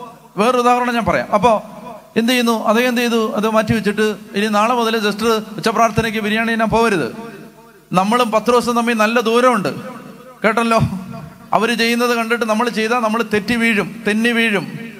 അപ്പൊ ആദ്യം വേണ്ടത് ആത്മാവിനെ തുടങ്ങണം പോട്ടെ. അപ്പോൾ ഞാൻ പറഞ്ഞു വരുന്നത് അപ്പൊ അദ്ദേഹം ഭക്ഷണം കുക്ക് ചെയ്യാൻ വേണ്ടി അങ്ങോട്ട് ചെന്ന സമയത്ത് പെട്ടെന്ന് ആ വലിയൊരു പാത്രം ഇറങ്ങി വരുന്നു. ശുദ്ധവും അശുദ്ധവുമായ ജീവികളെ അദ്ദേഹം കാണുകയാണ്. അപ്പൊ അതിനെ കൊന്നു തിന്നാൻ ദൈവം പറയുന്നു. അദ്ദേഹം പറയുന്നത് ഞാൻ അങ്ങനെ ചെയ്യില്ല. ഞാനൊരു നല്ല ജൂതനാണ്. ഞാൻ അങ്ങനെ ചെയ്യില്ല. കർത്താവ് പറയുന്നു ദൈവം വിശുദ്ധീകരിച്ചതിനെ നീ അശുദ്ധമായിട്ട് കാണരുത്. ഒന്നും മനസ്സിലായില്ല. അപ്പോൾ ആ ദർശനത്തിൽ ആ ആ മായിക പ്രഭാവത്തിൽ അദ്ദേഹം ഇങ്ങനെ എല്ലാം മറന്ന് വിലയം പ്രാപിച്ചിരിക്കുമ്പോൾ പെട്ടെന്ന് ദൈവത്തിന്റെ ആത്മാവ് സംസാരിച്ചു നിന്നെ വിളിക്കാൻ വേണ്ടി താഴെ രണ്ടു മൂന്ന് പേര് വന്ന് നിൽപ്പുണ്ട് അവർ കൊറണേലിയൂസിന്റെ വീട്ടിൽ നിന്നാണ് വന്നിരിക്കുന്നത്. അവൻ വിജാതീയനാണെന്ന് കരുതി പോകാതിരിക്കരുത്. ദൈവം വിശുദ്ധീകരിച്ചതാണ് അവനെ. അതിനുവേണ്ടിയാണ് ഈ ദർശനം കാണിച്ചത്. വേഗം മടി കൂടാതെ പൊക്കോളുക. അങ്ങനെ കൊറണേലിയൂസിന്റെ വീട്ടിലേക്ക് പത്രോസിലേക്ക് പോയി. ഭക്ഷണ സമയത്തുണ്ടായ ഒരു ആത്മാവിന്റെ പ്രേരണയിൽ നിന്ന് സോറി പ്രാർത്ഥനാ സമയത്തുണ്ടായ ആത്മാവിന്റെ ഒരു പ്രേരണയിൽ നിന്നാണ് പത്രോസ്ലിക കൊർണേലിയസിന്റെ വീട്ടിലേക്ക് പോകുന്നത്. ആ വീട്ടിലേക്ക് ചെന്നിട്ട് അവിടെ നിന്ന് അപ്പസോല പ്രവർത്തനം പത്ത്. അവിടെ അദ്ദേഹം ദൈവവചനം പ്രസംഗിച്ചു. വായിക്കണ്ട. അവിടെ അദ്ദേഹം ദൈവവചനം പ്രസംഗിച്ചു. ദൈവവചനം പ്രസംഗിച്ചു കഴിഞ്ഞപ്പോൾ ഈ പ്രസംഗിച്ചുകൊണ്ടിരിക്കുന്ന സമയത്ത് സകലരുടെ മേലും പരിശുദ്ധാത്മാവ് വന്ന് നിറഞ്ഞു. എല്ലാവരും ആത്മാവിനാൽ നിറഞ്ഞു കഴിഞ്ഞപ്പോൾ അദ്ദേഹം പറഞ്ഞു നമ്മൾ സ്വീകരിച്ചതുപോലെ പരിശുദ്ധാത്മാവിനെ ഇവരും സ്വീകരിച്ചതുകൊണ്ട് ഇവർക്ക് ജ്ഞാനസ്നാന ജലം നിഷേധിക്കാൻ നമുക്ക് കഴിയുമോ? എന്ന് ചോദിച്ചുകൊണ്ട് അവർക്ക് മാമോദീസ കൊടുക്കാനായിട്ട് പത്രശ്രീക തയ്യാറായി. അങ്ങനെയാണ് വിജാതീയര് സഭയിലേക്ക് പ്രവേശിക്കുന്ന ഒരു വാതിൽ തുറക്കപ്പെട്ടത് പരിശുദ്ധാത്മാവ് പ്രാർത്ഥനാ നേരത്ത് കൊടുത്ത ഒരു പ്രേരണയിൽ നിന്നാണ്. മനസ്സിലാകുന്നുണ്ട്? സഭ നയിക്കപ്പെട്ടത് ആത്മാവിന്റെ സ്വരം കേട്ട് കേട്ടാണ്. അങ്ങനെയാണ് സഭയുടെ വാതിലുകൾ തുറക്കപ്പെട്ടത്. ഏഷ്യയിലേക്ക് പോകുന്നതിൽ നിന്ന് പരിശുദ്ധാത്മാവ് ഞങ്ങളെ തടഞ്ഞു. മക്കധോനിയിലേക്ക് പോകാൻ ഞങ്ങൾ ആഗ്രഹിച്ചു. യേശുവിന്റെ ആത്മാവ് അനുവദിച്ചില്ല. അതുകൊണ്ട് ഞങ്ങൾ ഫ്രീജിയ പാംഫീലിയ തുടങ്ങിയ സ്ഥലങ്ങളിലേക്ക് പോയി. ത്രോവാസിൽ ദൈവത്തിന്റെ ആത്മാവ് സുവിശേഷത്തിന് വേണ്ടി ഞങ്ങൾക്കൊരു വാതിൽ തുറന്നു തന്നു. കോരന്തിലെത്തിയപ്പോൾ പൗലോസിനോട് ദൈവത്തിന്റെ ആത്മാവ് പറഞ്ഞു ആദൻസിലുണ്ടായതുപോലെ പീഡനം ഇവിടെ ഉണ്ടാവില്ല. ഇവിടെ നമുക്ക് വേണ്ടത്ര ആളുകളുണ്ട്. നീ ധൈര്യമായിട്ട് ഇവിടെ ശുശ്രൂഷ ചെയ്യുക. അങ്ങനെ രണ്ടര കൊല്ലം ഇവിടെ താമസിച്ച് അദ്ദേഹം ശുശ്രൂഷ ചെയ്തു. എഫ് എസ് ഓസിൽ അദ്ദേഹം മൂന്ന് കൊല്ലം ശുശ്രൂഷ ചെയ്തു. ഇതെല്ലാം ചെയ്യുന്നത് പരിശുദ്ധാത്മാവ് നയിക്കുകയാണ്. അതിനുശേഷം അദ്ദേഹം പറയുന്നുണ്ട് ഇതാ ഞാൻ ജെറുസലേമിലേക്ക് മടങ്ങിപ്പോകുന്നു. അവിടെ പറയുന്ന ഇതാണ് ഞാൻ ജെറുസലേമിലേക്ക് പോകാൻ എനിക്ക് ആഗ്രഹമുണ്ട് ഞാൻ പോകാമെന്നല്ല ആ പരിശുദ്ധാത്മാവിനാൽ നിർബന്ധിതനായി ഞാനിതാ ജെറുസലേമിലേക്ക് പോകുന്നു. എന്ന് പറഞ്ഞു കണ്ടോ സഭ മൂവ് ചെയ്യുന്നത് ഹോളി സ്പിരിറ്റിന്റെ ഗൈഡൻസ് അനുസരിച്ചാണ്. പരിശുദ്ധാത്മാവ് സഭയെ നയിച്ചുകൊണ്ടിരിക്കുകയാണ് ഞാനിത് പറയുമ്പോൾ സഭയെന്ന് ഞാൻ പറയുമ്പോൾ നിങ്ങൾ അച്ഛന്മാർ കന്യാസ്ത്രീകൾ പിതാക്കന്മാരെന്ന് കാണരുത്. നമ്മൾ ഓരോരുത്തരും മാമോദീസ സ്വീകരിച്ച എല്ലാവരും നയിക്കപ്പെടുന്നത് പരിശുദ്ധാത്മാവിനാലാകണം. പറഞ്ഞേ ഹാലേ ലുയാ പറഞ്ഞേ ഹാലേ ലുയാ ഹാലേ ലുയാ അതായത് വേറൊരു ഉദാഹരണം അത് നിങ്ങൾ എടുത്തോ. അത് അപ്പസോല പ്രവർത്തനത്തിൽ അപ്പസോല പ്രവർത്തനത്തിൽ പരിശുദ്ധാത്മാവ് നയിച്ച വേറൊരാളെ ഞാൻ കാണിച്ചു തരാം. അപ്പസ്തോല പ്രവർത്തനം എട്ടാം അധ്യായത്തിന്റെ ഇരുപത്തി ആറാമത്തെ വാക്യം. അപ്പസ്തോല പ്രവർത്തനം എട്ട് ഇരുപത്തി ആറ് വായിക്കാവോ? ഉറക്കെ വായിക്കാവോ? കർത്താവിന്റെ ഒരു ദൂതൻ ഫിലിപ്പോസിനോട് പറഞ്ഞു എഴുന്നേറ്റ് തെക്കോട്ട് നടന്ന് ജെറുസലേമിൽ നിന്ന് ഗാസായിലേക്കുള്ള പാതയിൽ എത്തുക. അതൊരു വിജനമായ പാതയായിരുന്നു. ഒന്നുകൂടെ വായിക്കാമോ? ഉറക്കെ വായിക്കാമോ? കർത്താവിന്റെ ഒരു ദൂതൻ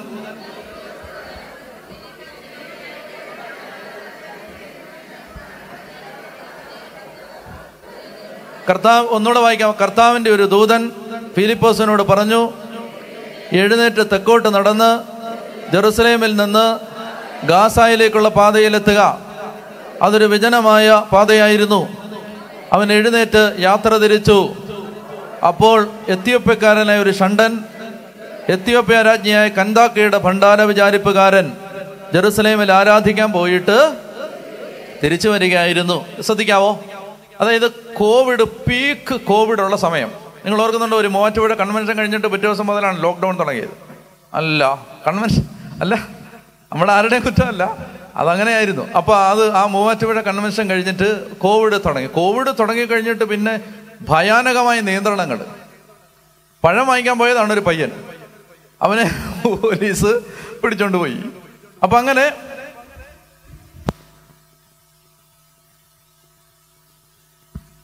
എല്ലാ അർത്ഥത്തിലും പീഡനങ്ങൾ പിന്നെ റെസ്ട്രിക്ഷൻസ് ലിമിറ്റേഷൻസ് ഉണ്ടായ ഒരു കാലം. അപ്പൊ ആ സമയത്ത് ഗവൺമെന്റ് പറയുകയാണ് എല്ലാവരും അടച്ചിരിക്കാൻ പറഞ്ഞു. എല്ലാവരും അടച്ചിരുന്നോ. ഒറ്റയാൾ പോലും പുറത്തിറങ്ങരുത്. ലോക്ക്ഡൗൺ എന്തായിരുന്നു എന്റെ പേര്? ലോക്ക്ഡൗൺ അല്ലേ? വേറൊരു പേരുണ്ടല്ലോ? ക്വാറന്റൈൻ എന്തൊരു പേര്? ക്വാറന്റൈൻ ആദ്യമായിട്ടാണ് അങ്ങനെ ഒരു വാക്ക്. നിങ്ങൾ അതിന് മുമ്പ് ജയിച്ചത് കേട്ടിട്ടുണ്ടായിരുന്നോ? ക്വാറന്റൈൻ ക്വാറി എന്നൊക്കെ കേട്ടിട്ടുണ്ടായിരുന്നു.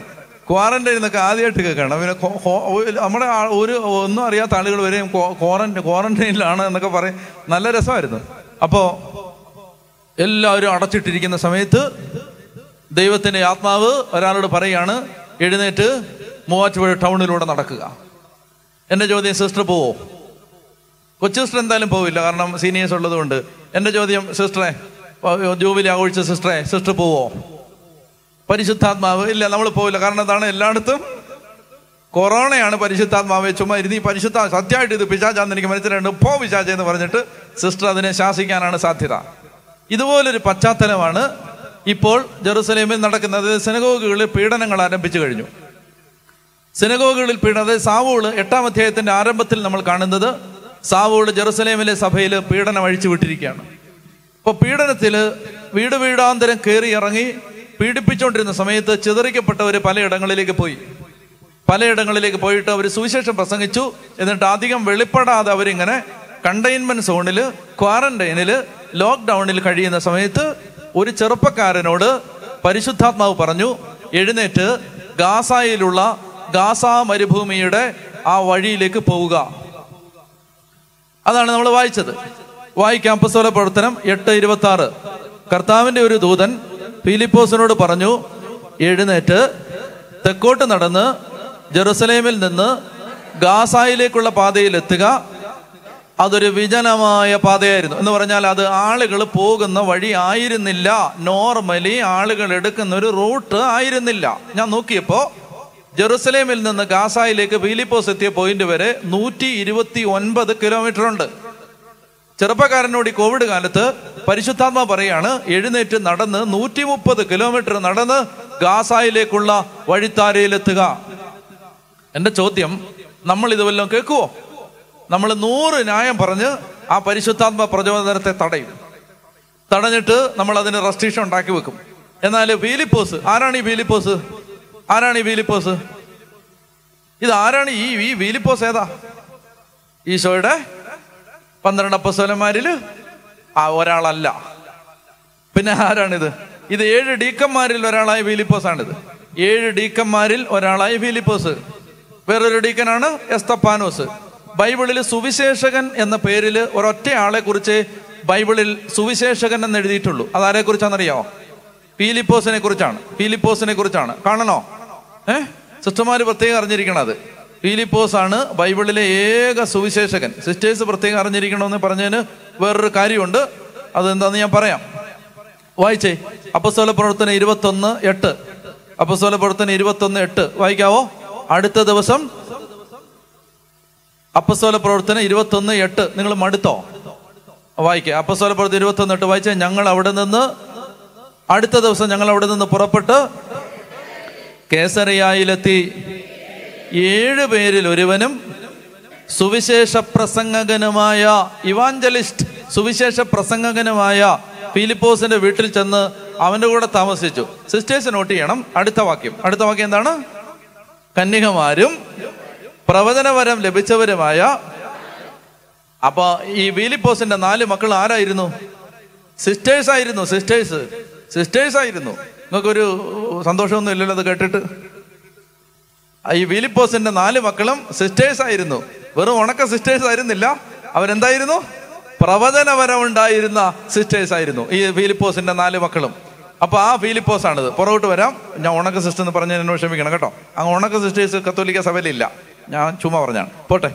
അപ്പൊ അല്ലാതെ തന്നെ മനപ്രയാസം ഒത്തിരി ഉണ്ട്. ഇനി ഓക്കെ ഇങ്ങോട്ട് നോക്കിയേ അപ്പൊ ഇങ്ങോട്ട് നോക്കി. അപ്പോ അതായത് ഈ ഈ ഫിലിപ്പോസ് കർത്താവിന്റെ ആത്മാവ് പറഞ്ഞനുസരിച്ച് നൂറ്റി ഇരുപത്തി ഒമ്പത് കിലോമീറ്റർ യാത്ര ചെയ്ത് ഗാസായിലുള്ള വഴിത്താരയിലെത്തി ഇരുപത്തേഴാമത്തെ വാക്യം. അപ്പസ്വല പ്രവർത്തനം എട്ട് ഇരുപത്തേഴ് അവൻ എഴുന്നേറ്റ് യാത്ര തിരിച്ചു. നിങ്ങൾ വായിക്കുന്നില്ല. നിങ്ങൾ വായിക്കുന്നില്ല. അപ്പസ്വല പ്രവർത്തനം എട്ട് ഇരുപത്തേഴ് വായിക്കാവോ? അവൻ എഴുന്നേറ്റ് യാത്ര തിരിച്ചു. അപ്പോൾ എത്തിയോപ്പക്കാരനായ ഒരു ഷണ്ടൻ എത്തിയോപ്യ രാജ്ഞിയായ കന്താക്കയുടെ ഭണ്ഡാര വിചാരിപ്പുകാരൻ ജെറുസലേമിൽ ആരാധിക്കാൻ പോയിട്ട് തിരിച്ചു വരികയായിരുന്നു. രഥത്തിലിരുന്ന് അവൻ ഏശയ്യായുടെ പ്രവചനം വായിച്ചുകൊണ്ടിരുന്നു.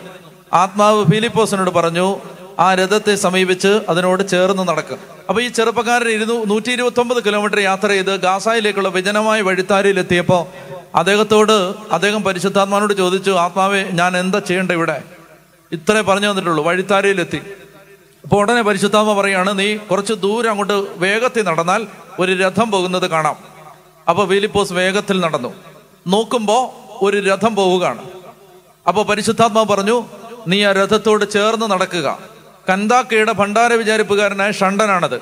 അവൻ ചേർന്ന് നടന്നപ്പോ ഈ കന്താക്കയുടെ ഭണ്ഡാര വിചാരിപ്പുകാരനായ ഷണ്ടൻ രഥത്തിനകത്തിരുന്ന് ബൈബിൾ വായിച്ചുകൊണ്ടിരിക്കുകയാണ്. പഴയ നിയമത്തിൽ ഏശയ്യായുടെ പുസ്തകം വായിച്ചുകൊണ്ടിരിക്കുകയാണ്. അപ്പൊ ഏശയ്യയുടെ പുസ്തകം വായിക്കുമ്പോൾ അയാൾ വായിച്ചുകൊണ്ടിരുന്നത് ഈ ഭാഗത്ത് നിന്ന് മനസ്സിലാകുന്നത് ഏശയ്യ നമ്മുടെ ബൈബിളിൽ ഏശയ്യ അമ്പത്തിമൂന്നാണ് അദ്ദേഹം വായിക്കുന്നത്. ഏശയ്യ അമ്പത്തിമൂന്ന് പറയുന്നത് സഹനദാസനെ കുറിച്ചാണ് നമ്മുടെ അതിക്രമങ്ങൾക്ക് വേണ്ടിയാണ് അവൻ മുറിവേൽപ്പിക്കപ്പെട്ടത്. നമ്മുടെ മേലുള്ള നമ്മുടെ മേലുള്ള ശിക്ഷ അവന്റെ മേൽ ദൈവം ചുമത്തി. അവ- അവന്റെ മേലുള്ള ശിക്ഷ നമുക്ക് രക്ഷ നൽകി. അവന്റെ മുറിവുകളാൽ നാം സൗഖ്യമാക്കപ്പെട്ടു. ഈ വചനമാണ് ഇന്നും യഹൂദർക്ക് ഈ വചനത്തിന്റെ വ്യാഖ്യാനം അറിഞ്ഞുകൂടാ. ഇത് ആരെക്കുറിച്ച് പറഞ്ഞു എന്ന് പറഞ്ഞാൽ യഹൂദൻ തപ്പും. കാരണം ഇത് യേശുവിനെ കുറിച്ചുള്ള വചനമാണ്. അപ്പോൾ അതുകൊണ്ട് ഫിലിപ്പോസ് രഥത്തോട് ചേർന്ന് നടന്നപ്പോൾ പരിശുദ്ധാത്മാവ് ഫിലിപ്പോസിനോട് പറഞ്ഞു വായിക്കുന്നത് മനസ്സിലാകുന്നുണ്ടോ എന്ന് ചോദിക്കുക. ഫിലിപ്പോസ് രഥത്തോട് ചേർന്ന് നടന്ന് ഈ ഷണ്ടനോട് ചോദിച്ചു വായിക്കുന്നത് നിനക്ക് മനസ്സിലാവുന്നുണ്ടോ? അപ്പൊ അവൻ പറഞ്ഞു ഒന്നും മനസ്സിലായിട്ടില്ല. വല്ലവരും പറഞ്ഞു തന്നാലല്ലേ മനസ്സിലാകൂ. നമ്മളിങ്ങനെ റോഡിലൂടെ പോകുന്ന സമയത്ത് മൂവാറ്റുപുഴയിൽ നിന്ന് ഞാൻ തിരുവനന്തപുരത്തേക്ക് പോകുമ്പോൾ എനിക്ക് വഴി തെറ്റിയാൽ ഞാൻ വണ്ടി നിർത്തിയിട്ട് ഞാൻ ചോദിക്കും ഈ ഇങ്ങനെ എങ്ങോട്ട് പോകുന്ന വഴി എങ്ങോട്ടാണെന്ന് ചോദിച്ചാൽ നമ്മൾ കണ്ടിട്ടില്ലേ നമ്മുടെ നാട്ടിലെ മലയാളി ചേട്ടന്മാർ നല്ല സ്നേഹമുള്ളവരാണ്. രാത്രിയിലാണെങ്കിൽ പ്രത്യേകിച്ചും അവർ പറയും ആ ഞാനും ആ റൂട്ടിലാണ് അങ്ങോട്ട് നീങ്ങിയിരുന്നു ഞാനിവിടെ കയറുന്നതെന്ന് പറഞ്ഞിട്ട് കയറുന്ന ചേട്ടന്മാരെ നിങ്ങൾ കണ്ടിട്ടില്ലേ? അതുപോലാണ് വേലിപ്പോസ് ചോദിച്ചു വായിക്കുന്ന പോലെ മനസ്സിലാവുന്നുണ്ടോ? അപ്പോൾ ഷണ്ടം പറഞ്ഞു മനസ്സിലാവുന്നില്ല. ആ എന്നാ അങ്ങോട്ട് നീങ്ങിയിരി ഞാനും ആ റൂട്ടിലാന്ന് പറഞ്ഞു. അങ്ങോട്ട് കയറിയിട്ട് അകത്തിരുന്നിട്ട് ഈ ഭാഗം വിശദീകരിച്ചു കൊടുത്തു. വിശദീകരിച്ചു കഴിഞ്ഞപ്പോൾ യേശുവിനോടുള്ള രക്ഷ പ്രസംഗിച്ചു കഴിഞ്ഞപ്പോൾ യേശുവിലൂടെയുള്ള രക്ഷ ഈ ഷണ്ടൻ സ്വീകരിച്ചിട്ട് അദ്ദേഹം ചോദിച്ചു ഞാൻ ഇനി എന്നാ ചെയ്യണ്ടേ? അപ്പൊ പറഞ്ഞു പാപമോചനത്തിനായി യേശുവിന്റെ നാമത്തിൽ പിതാവിന്റെയും പുത്രന്റെയും പരിശുദ്ധാത്മാവിന്റെയും നാമത്തിൽ സ്നാനം സ്വീകരിക്കാൻ പറഞ്ഞു. അങ്ങനെ സ്നാനം സ്വീകരിച്ച് തൊട്ടടുത്ത കുളത്തിൽ വെച്ച് സ്നാനം കൊടുത്തിട്ട് എന്ത് ചെയ്തു? ഈ- ഈ ഷണ്ടനെ പറഞ്ഞു വിട്ടു. ഇന്ന് കത്തോലിക്ക തിരുസഭയുടെ ഇരുപത്തിനാല് വ്യക്തിഗത സഭകളിലെ ഒരു സഭയാണ് എത്യോപ്യൻ സഭ. എത്യോപ്യൻ സഭ. അത് തുടങ്ങുന്നത് ഈ ഷണ്ടനിൽ നിന്നാണ്. ആ സഭ തുടങ്ങുന്നത് ഈ ഷണ്ടനിൽ നിന്നാണ്. ആ സഭ തുടങ്ങുന്നത് ഈ ഷണ്ടനിൽ നിന്നാണ്. ആ സഭ തുടങ്ങുന്നത് ഒരു ചെറുപ്പക്കാരൻ ഒരു യൂത്ത് പരിശുദ്ധാത്മാവിനെ കേട്ടപ്പോഴാണ്. ഒരു സഭ തുടങ്ങിയത് ഒരു യൂത്ത് പരിശുദ്ധാത്മാവിനെ കേട്ടപ്പോഴാണ്. നിങ്ങൾക്ക് മനസ്സിലാവുന്നുണ്ടോ ഇത്? മനസ്സിലാവുന്നുണ്ടോ? ഇന്ന് മിഷൻ വളരാത്തത് എന്താ? ഇന്ന് സഭ വളരാത്തത് എന്താ? ഇന്ന് ദൈവജനത്തിന് പുരോഗതി അഭിഷേകം ഉണ്ടാവാത്തത് എന്താ? ഇന്ന് ദൈവജനം കെട്ടിക്കിടക്കുന്നത് എന്താ? ഇന്ന് ഈ തല്ലും വഴക്കും കൂടുന്നത് എന്താ? ഇന്ന് നമുക്ക് പ്രതിസന്ധികൾ പെരുകുന്നത് എന്താ? ഒന്നും ആരെയും കുറ്റം പറയണ്ട. ഒറ്റ കാര്യമുള്ളൂ ദേ ഈ സ്വരം കേട്ടിട്ട് ഒരുപാട് കാലമായി. ഈ സ്വരം കേട്ടിട്ട് ഒരുപാട് കാലമായി. ഇത് കേൾക്കുന്നില്ല ആരും. ഇത് കേട്ടാൽ ആ സഭയിൽ കർത്താവ് പറഞ്ഞു ആ സഭയിൽ അഭിഷേകം ഉണ്ടാവും. അത് കേൾക്കുന്ന ഒരു സഭയിൽ ദൈവത്തിന്റെ കൃപ വെളിപ്പെടും. കാരണം എന്താ പറയാ ദൈവാത്മാവിനെ ലോകത്ത് പൂർത്തീകരിക്കാൻ പതിനായിരക്കണക്കിന് ലക്ഷക്കണക്കിന് പ്രോജക്റ്റുകളുണ്ട്. അത് മുഴുവൻ പൂർത്തീകരിക്കപ്പെടാതെ കിടക്കുകയാണ്. എന്താ കാര്യം? ദൈവസ്വരം കേൾക്കുന്ന ആളുകളില്ല. അവർക്ക് പറഞ്ഞേ ഹാലേ ലുയാ പറഞ്ഞേ ഹാലേ ലുയാ ഹാലേ ലുയാ അപ്പൊ അതുകൊണ്ട് ഇതിനെ നിസാരമായിട്ട് കാണരുത്. മലാഖിയിലൂടെ ദൈവം സംസാരിച്ചിട്ട് പിന്നെ നാല് നൂറ്റാണ്ട് കഴിഞ്ഞിട്ടാണ് ദൈവത്തിന്റെ അരുളപ്പാടുകൾ സ്നാപയോഗനെത്തുമ്പോ അവിടെ പ്രബലന്മാരെയും പ്രമുഖന്മാരെയും ബൈപ്പാസ് ചെയ്തിട്ട് ദൈവത്തിന്റെ ആത്മാവ് മരുഭൂമിയിൽ ഒരു പാവപ്പെട്ട താപസന്റെ അടുത്തേക്ക് ചെന്നു. എനിക്ക് പറയാനുള്ളത് ഞാൻ ഒറ്റ കാര്യം പറയാൻ ആഗ്രഹിച്ചത് ഈ ഈ ആമുഖമായിട്ട് പറയാൻ വിചാരിച്ചാണ്. ഒത്തിരി സമയം എടുത്തു അതായത് എന്ത് ചെയ്യുന്നറിയാമോ എല്ലാ ദിവസവും സിമ്പിളായിട്ട് പറയാം. എല്ലാ ദിവസവും മുട്ടേ നിൽക്കണം. മുട്ടുകുത്താൻ പറ്റത്തില്ലെങ്കിൽ എവിടെയെങ്കിലും അടങ്ങിയിരിക്കണം ഇരുന്നിട്ട് പരിശുദ്ധാത്മാവേ സംസാരിക്കാവോ എന്ന് ചോദിക്കണം. ബൈബിളിലെ ദൈവത്തെ സൂചിപ്പിക്കാൻ ആവർത്തിക്കപ്പെടുന്ന ഒരു വാചകമാണ് ജീവനുള്ള ദൈവം. സജീവനായ ദൈവം. ലിവിങ് ഗോഡ് എന്നാണ് നമ്മുടെ ദൈവത്തെ കുറിച്ച് പറയുന്നത് ലിവിങ് ഗോഡ് ബൈബിളിലെ ദൈവത്തിന് ഒരു പ്രത്യേകതയുണ്ട്. ആ ദൈവം ഉരിയാടുന്ന ദൈവമാണ്. ഊമയല്ല ഡമ്പല്ല മ്യൂട്ടല്ല. ദൈവം മിണ്ടുന്ന ദൈവമാണ് ഉരിയാടുന്ന ദൈവം സംസാരിക്കുന്ന ദൈവം. ആ സംസാരിക്കുന്ന ദൈവം ചരിത്രത്തിലുടനീളം സംസാരിച്ചതിന്റെ ലിഖിത രൂപമാണ് നിങ്ങളുടെ കൈകളിലിരിക്കുന്ന ബൈബിൾ. ആ ദൈവത്തിന്റെ സംസാരം നിലച്ചിട്ടില്ല. ആ ദൈവത്തിന്റെ ജരാനരകൾ ബാധിച്ചിട്ടില്ല. ആ ദൈവം ഒരു പടുകിഴവനായിട്ട് വെള്ളെഴുത്ത് കണ്ണാടിയും വെച്ച് വടിയും കുത്തിയിരിക്കുകയല്ല. ആ ദൈവം ഇപ്പോഴും സംസാരിച്ചുകൊണ്ടിരിക്കുകയാണ്. ഈ കാലഘട്ടത്തിൽ ആ ദൈവം സംസാരിക്കുന്നുണ്ട്. നിന്റെ കുടുംബത്തെക്കുറിച്ച് നിന്റെ സഭയെക്കുറിച്ച് നിന്റെ വീടിനെ കുറിച്ച് നിന്റെ സ്വപ്നങ്ങളെക്കുറിച്ച് ആ ദൈവം സംസാരിക്കുന്നുണ്ട്. എവിടെയാ നമുക്ക് കാലിടറി എന്നറിയാവോ? നമ്മൾ ഇത് കേൾക്കാൻ ഇരുന്നിട്ടില്ല. നമ്മളിത് കേൾക്കാൻ ഇരുന്ന് കൊടുത്തിട്ടില്ല. പറയണം കർത്താവെ മൂവാറ്റുപുഴയെ കുറിച്ചുള്ള ദൈവത്തിന്റെ പദ്ധതി എന്താ? ചോദിക്കണം. എക്സ്പീരിയൻസ് കൊണ്ട് ഇറങ്ങരുത്. അനുഭവം കൊണ്ട് ഇറങ്ങരുത്. മാതാവ് എന്റെ മക്കളെ കുറിച്ച് എന്താ ഏത് സ്കൂളിൽ വിടണം? ചോദിച്ചിട്ടുണ്ടോ നിങ്ങൾ? ഏത് കോളേജിൽ വിടണം? ഏത് വിഷയം എടുക്കണം? എങ്ങോട്ട് വിടണം? എല്ലാം ഇപ്പൊ കാനഡ എന്ന് പറഞ്ഞു പോവല്ലേ? ചോദിച്ചിട്ടുണ്ടോ? കർത്താവ് എന്റെ കുട്ടിയെ കുറിച്ച് എല്ലാവർക്കും ഒറ്റ ഓപ്ഷനേ ഉള്ളൂ. Canada Ireland Canada Ireland. ചോദിച്ചിട്ടുണ്ടോ നിങ്ങൾ കർത്താവ്? എന്റെ കുഞ്ഞ് കാനഡയിലാണോ പോകേണ്ടത്? കാനഡ പോയി എന്റെ കൊച്ചു രക്ഷപ്പെടുവോ? കാനഡ പോയി ഈ കൊച്ചു ആത്മാവിനെ അറിയുവോ? പരിശുദ്ധാത്മാവിന്റെ കയ്യിൽ നിന്ന് വഴുതി പോവോ ചോദിച്ചിട്ടുണ്ടോ? അപ്പൊ നിങ്ങൾ പറയും ചോദിച്ചാ ഞങ്ങൾക്ക് മറുപടി കിട്ടുമെന്ന്. നന്നായിട്ടിരുന്നൊന്ന് ചോദിക്കുക കിട്ടുമില്ലെന്നറിയാം പറയാവോ ഹാലേ ലുയാ ഹാലേ ലുയാ ഹാലേ ലുയാ ദൈവാത്മാവിനാൽ നയിക്കപ്പെടുന്നവരെല്ലാം ദൈവത്തിന്റെ പുത്ര ഒന്ന് എഴുന്നേറ്റ് നിൽക്കാവോ ദൈവത്തിന്റെ പുത്രന്മാരാണ്. ദൈവാത്മാവിനാൽ നയിക്കപ്പോൾ അതുകൊണ്ട് നമ്മൾ ഈ മലാഖി പ്രവചനം അത് തീർന്നില്ലെങ്കിൽ കുഴപ്പമൊന്നുമില്ല. പക്ഷെ അതിനകത്ത് പറയുന്ന കാര്യങ്ങളുടെ ഗൗരവം മനസ്സിലാക്കണം.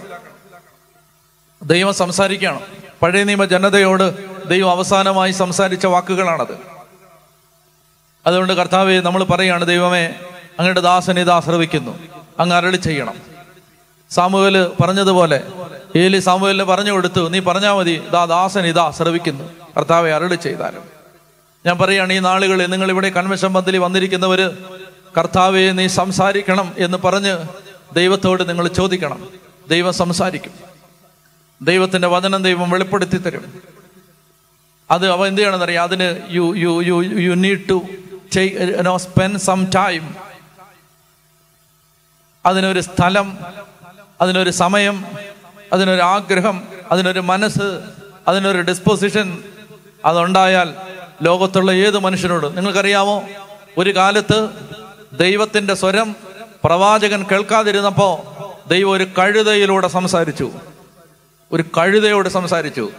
എന്തുകൊണ്ട് അത് ബൈബിളിൽ എഴുതപ്പെട്ടിരിക്കുന്നത്? അതായത് വലിയ വലിയ ആളുകൾ കേൾക്കാതിരിക്കുമ്പോൾ കഴുതകളിലൂടെ ദൈവം സംസാരിക്കും. അതുകൊണ്ട് അതിന് അറിവും പാട്ടിത്യവും ഒന്നും വേണ്ട. കർത്താവേന്ന് ഹൃദയം നൊന്ത് യേശുവിനെ സ്നേഹിക്കാൻ ഒരു കൃപയും ദൈവവചനത്തോടൊരു ബഹുമാനവും കർത്താവിനോടൊരു സ്നേഹമൊക്കെ ഉണ്ടെങ്കിൽ കർത്താവേ എന്നോട് നീ സംസാരിക്കണം. മനസ്സിലായോ? ഞാനീ പറയുന്നത് അവിടെ ആ കളർ കണ്ടു ഈ കളർ കണ്ടു അവിടെ വെളിച്ചം കണ്ടു അവിടെ ആടിനെ കണ്ടു പോത്തിനെ കണ്ടെന്ന് പറയുന്നൊന്നുമല്ല ഞാൻ പറയുന്നത്. മനസ്സിലായോ? അങ്ങനെ കളർ കാണുന്ന ഇത്തിരി ഒത്തിരി പേരുണ്ട്. എന്നോട് ക്ഷമിക്കണം. ആ കളർ കാണുന്ന കാര്യമൊന്നുമല്ല ഞാൻ പറയുന്നത്. മറിച്ച് സോളിഡായിട്ട് ദൈവത്തിന്റെ ആത്മാവ് പ്രേരണകൾ തരണം. ദൈവത്തിന്റെ ആത്മാവ് സംസാരിക്കണം. കർത്താവ് സംസാരിച്ചിട്ട് ദൈവജനത്തെ നയിക്കണം. കുടുംബത്തെ നയിക്കണം. അങ്ങനെ എത്ര എത്ര പാവപ്പെട്ട കുടുംബങ്ങളുണ്ട്.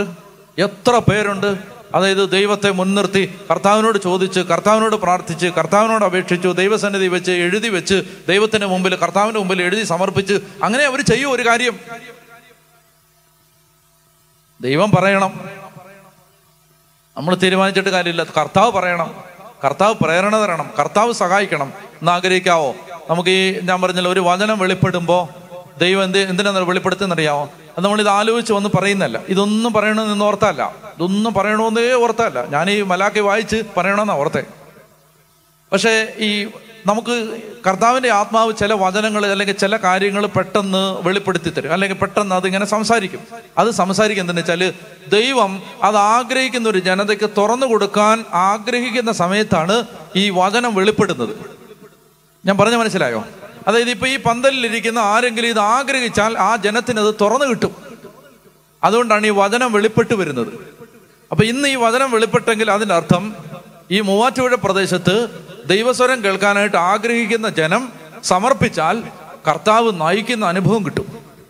ദൈവത്തിന്റെ ആത്മാവ് നയിക്കും. അപ്പൊ അത് നിങ്ങൾ ആഗ്രഹിക്കുന്നുവോ? കർത്താവിനെ കേൾക്കാൻ നിങ്ങൾ ആഗ്രഹിക്കുന്നുവോ? ആഗ്രഹിക്കുന്നു. ദൈവസ്വരം കേൾക്കാൻ നിങ്ങൾ ആഗ്രഹിക്കുന്നുവോ? ഞങ്ങൾ ആഗ്രഹിക്കുന്നു. ഞങ്ങൾ ആഗ്രഹിക്കുന്നു എന്ന് പറയണം. എങ്ങനെ പറയണ്ടേ? ഞങ്ങൾ ആഗ്രഹിക്കുന്നു. ദൈവത്തിന്റെ കർത്താവിന്റെ സ്വരം കേൾക്കാൻ നിങ്ങൾ ആഗ്രഹിക്കുന്നുവോ? ഞങ്ങൾ ആഗ്രഹിക്കുന്നു. ദൈവം സംസാരിക്കുന്നത് കേൾക്കാൻ നിങ്ങൾ ആഗ്രഹിക്കുന്നുവോ? ഞങ്ങൾ ആഗ്രഹിക്കുന്നു. അപ്പൊ അതുകൊണ്ട് ഈ സമയത്ത് ആ ദാഹത്തോടെ നിങ്ങൾ പ്രാർത്ഥിക്കണം. നിങ്ങൾ ആരെയും ശ്രദ്ധിക്കരുത്. ആരെയും ശ്രദ്ധിക്കരുത്. കർത്താവിനോട് ഹൃദയം നൊന്ത് പ്രാർത്ഥിക്കണം ദൈവമേ. അങ്ങ് ജീവിക്കുന്ന ദൈവമാണ് അങ്ങ് സംസാരിക്കുന്ന ദൈവമാണ്. അങ്ങ് സംസാരിച്ചിട്ട് എനിക്ക് പലപ്പോഴും കേൾക്കാൻ പറ്റുന്നില്ല. ഞാൻ കേൾക്കുന്നില്ല. God is always always trying to contact you we are either switched off or out of coverage area എപ്പോഴും ദൈവം എന്നോട് ബന്ധപ്പെടാൻ ശ്രമിച്ചുകൊണ്ടിരിക്കുകയാണ്. ഒന്നീ ഞാൻ പരിധിക്ക് പുറത്താണ് അല്ലെങ്കിൽ ഞാൻ സ്വിച്ച് ഓഫ് ചെയ്ത് വെച്ചിരിക്കുകയാണ്. കർത്താവെ ഞാൻ ആ പരിധിയിൽ നിന്ന് വെളിയിലാണ്. ഞാൻ ആ വേവ് ലെങ്ത്തിന് പുറത്താണ്. ഞാൻ ആ റേഡിയോ ട്യൂൺ ചെയ്തിട്ടില്ല. കർത്താവെ ഞാൻ ആ ആ മൊബൈൽ ഫോൺ ഓൺ ചെയ്തിട്ടില്ല. ദൈവം ഇപ്പം ഞാൻ ആഗ്രഹിക്കുകയാണ്. ഇനി എന്നോട് സംസാരിക്കണം. പരിശുദ്ധാത്മാവെ എന്നോട് സംസാരിക്കണം. കർത്താവെ എന്നോട് സംസാരിക്കണം. ദൈവമേ നീ നിശബ്ദനാവരുത്. നീ എന്നോട് മിണ്ടാതിരിക്കരുത്. കർത്താവെ എനിക്ക് നീ സംസാരിച്ച് നിന്റെ വെളിപ്പെടുത്തലുകൾ തരണം. എന്ന് ആഗ്രഹിച്ച കരങ്ങൾ ഉയർത്തിക്കേ. ഇനി ആരെയും നിങ്ങൾ ശ്രദ്ധിക്കരുത്. നിങ്ങൾ എത്രത്തോളം ആഗ്രഹിക്കുന്നുണ്ട്? പത്തിരുപത് പേര് നിങ്ങളുടെ സ്വരം കേൾക്കട്ടെ. അതിനെ തുറന്ന് സ്തുതിക്കട്ടെ. ഹാലലുയ്യ ഉച്ചത്തിൽ ശ്രദ്ധിക്കട്ടെ ഈശോയെ. ആരാധന ആരാധന ആരാധന. യേശുവെ സ്തുതിക്കുന്നു സ്തുതിക്കുന്നു സ്തുതിക്കുന്നു സ്തുതിക്കുന്നു. സ്തുതിക്കുന്നു സ്തുതിക്കുന്നു സ്തുതിക്കുന്നു സ്തുതിക്കുന്നു സ്തുതിക്കുന്നു. സ്തുതിക്കുന്നു സ്തുതിക്കുന്നു സ്തുതിക്കുന്നു സ്തുതിക്കുന്നു സ്തുതിക്കുന്നു. ശക്തിയോടെ സ്തുതിക്കട്ടെ ആദരം തുറന്ന്. ഹാലലുയ ഹാലലുയ ഹാലലുയ ഹാലലുയ പരിശുദ്ധാത്മാവേ ദാഹത്തോടെ ആഗ്രഹത്തോടെ പ്രാർത്ഥിക്കുന്ന ജനത്തിന് വേണ്ടി അവിടുന്ന് ഹൃദയം തുറന്ന് അനുഗ്രഹിക്കണം പ്രാർത്ഥിക്കുന്നു. ഈ ആലയത്തെ കൂടാരത്തെ ഏറ്റെടുക്കണമേ. ഓരോ മകനെയും മകളെയും സ്പർശിക്കണമേ. പരിശുദ്ധാത്മാവെ സ്പർശിക്കണമേ. ഹാലലുയ ഹാലലുയ ആഗ്രഹത്തോടെ ആഗ്രഹത്തോടെ പാടി പ്രാർത്ഥിച്ച്. ദൈവമേ തിരുവചനങ്ങൾ കേൾക്കുവാ. കാതോർത്തു നിൽക്കുന്നു. ചൊല്ലി പാടാമോ? പ്രാർത്ഥിക്കുന്നു. നാഥാ നീ അരുൾ ചെയ്താലും ദാസർ ശ്രവി ദൈവമേ നിൻ തിരുവീതിയതിൽ നീങ്ങുവാ കൊതിയോടെ നിൽക്കുന്നു ഞാൻ. വഴി തെറ്റാതെന്നും ജീവിച്ചിടാ വിനയനയോടെ പ്രാർത്ഥിക്കുന്നു. വഴി തെറ്റാതെന്നും ജീവിച്ചിടാ. വിനയത്തോടെന്നും പ്രാർത്ഥിക്കുന്നു. നാഥാ നീ അരുൾ ചെയ്താലും ദാസർ ശ്രവിക്കുന്നു. പാടിക്ക്. നാദാ നീ അരുൾ ചെയ്താലും ദാസർ ശ്രവിക്കുന്നു അരുൾ ചെയ്താലും ദാസർ കരങ്ങൾ ഉയർത്തി ഒരിക്കൽ കൂടെ സ്തുതിച്ച് യേശോയെ സ്തുതിക്കുന്നു സ്തുതിക്കുന്നു സ്തുതിക്കുന്നു ഹാലലുയ ഹാലലുയ ഹാലലുയ ഹാലലുയ ഹാലലുയ ഹാലലുയ ഹാലലുയ ഹാലലുയ ഹാലലുയ ഹാലലുയ ഹാലലുയ ഹാലലുയ ഹാലലുയ എല്ലാ മക്കളും ഒന്ന് ആരാധിച്ച് സ്തുതിച്ച് ശക്തമായിട്ട് സ്തുതിച്ച് അതിനെ തുറന്ന് സ്തുതിച്ച് യേശോയെ സ്തുതിക്കുന്നു സ്തുതിക്കുന്നു സ്തുതിക്കുന്നു പരിശുദ്ധാത്മാവെ ആരാധിക്കുന്നു ആരാധിക്കുന്നു ആരാധിക്കുന്നു ഹാലലുയ ഹാലലുയ ഹാലലുയ ഹാലലുയ ഹാലലുയ ഹാലലുയ ഹാലലുയ ഹാലലുയ ഹാലലുയ ഹാലലുയ ഹാലലുയ ഹാലലുയ ഹാലലുയ ഹാലലുയ ഹാലലുയ ആമേൻ കൈത്താളങ്ങളോടെ കർത്താവിനെ സ്തുതിച്ച് ഉച്ചത്തിൽ മുഴങ്ങുന്ന കൈത്താളങ്ങളോടെ ഉറക്കെ പറഞ്ഞേ ഹല്ലേ ലുയാ കരങ്ങൾ വീശിക്കേ. ഹല്ലേ ലുയാ ഹല്ലേ ലുയാ ആമേൻ ഇരിക്കാം. അപ്പൊ അതുകൊണ്ട് പറയണമെന്ന് വിചാരിച്ചല്ല പക്ഷെ അത് അങ്ങനെ വന്നോണ്ടങ്ങ് പറഞ്ഞു പോയതാണ്. എന്താണ്? കർത്താവിന്റെ സ്വരം കേൾക്കാനായിട്ട് ആഗ്രഹിക്കണം. അപ്പം അതുമായി ബന്ധപ്പെട്ട് അത് പറഞ്ഞതുകൊണ്ട് രണ്ട് വചനങ്ങൾ പെട്ടെന്നൊന്ന് വായിക്കാം. നമ്മൾ ദൈവത്തിന്റെ സ്വരം കേൾക്കാൻ ആഗ്രഹിക്കുന്നെങ്കിൽ പ്രാർത്ഥിക്കാൻ നല്ല രണ്ട് വചനങ്ങൾ ഞാൻ കാണിച്ചു തരാം. ഒന്ന് യേശയ്യ പ്രവചനത്തിന്റെ പതിനൊന്നാം അധ്യായത്തിന്റെ രണ്ടാമത്തെ തിരുവചനം പ്രാർത്ഥിക്കണം. ദൈവഹിതം അറിയാനും ദൈവസ്വരം കേൾക്കാനും ആഗ്രഹിക്കുന്നെങ്കിൽ പ്രാർത്ഥിക്കാൻ കൊള്ളാവുന്നതെന്ന് എനിക്ക് തോന്നുന്ന രണ്ട് വചനങ്ങൾ ഞാൻ പറയുകയാണ്. ഒന്ന് ഏശയ്യ പ്രവചനം പതിനൊന്നാം അധ്യായത്തിന്റെ രണ്ടാമത്തെ തിരുവചനം. ഉറക്കെ വായിക്കാം. ഏശയ്യ പതിനൊന്ന് രണ്ട്. വായിച്ച്. കർത്താവിന്റെ ആത്മാവ് അവനിൽ ആവസിക്കും. അവന്റെ മേൽ ആവസിക്കും. എന്നോട് പറഞ്ഞ്. കർത്താവിന്റെ ആത്മാവ് അവന്റെ മേൽ ആവസിക്കും. ആ. ജ്ഞാനത്തിന്റെയും വിവേകത്തിന്റെയും ആത്മാവ് ഉപദേശത്തിന്റെയും ശക്തിയുടെയും ആത്മാവ് അറിവിന്റെയും ദൈവഭക്തിയുടെയും ആത്മാവ്. അപ്പോ കർത്താവിന്റെ ആത്മാവ് അവന്റെ മേൽ ആവസിക്കും. ഇങ്ങനെയാണ് പ്രാർത്ഥിക്കേണ്ടത്. കർത്താവിന്റെ ആത്മാവേ എന്റെ മേൽ ആവസിക്കണമേ. പറയാവോ? കർത്താവിന്റെ ആത്മാവേ എന്റെ മേൽ ആവസിക്കണമേ. എന്നിട്ട് വായിക്കണം വായിച്ച്.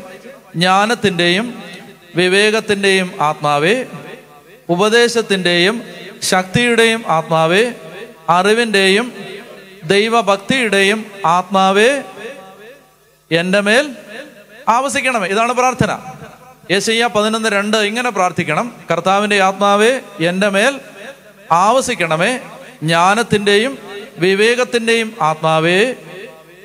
ഉപദേശത്തിന്റെയും ശക്തിയുടെയും ആത്മാവേ. അറിവിന്റെയും ദൈവഭക്തിയുടെയും ആത്മാവേ.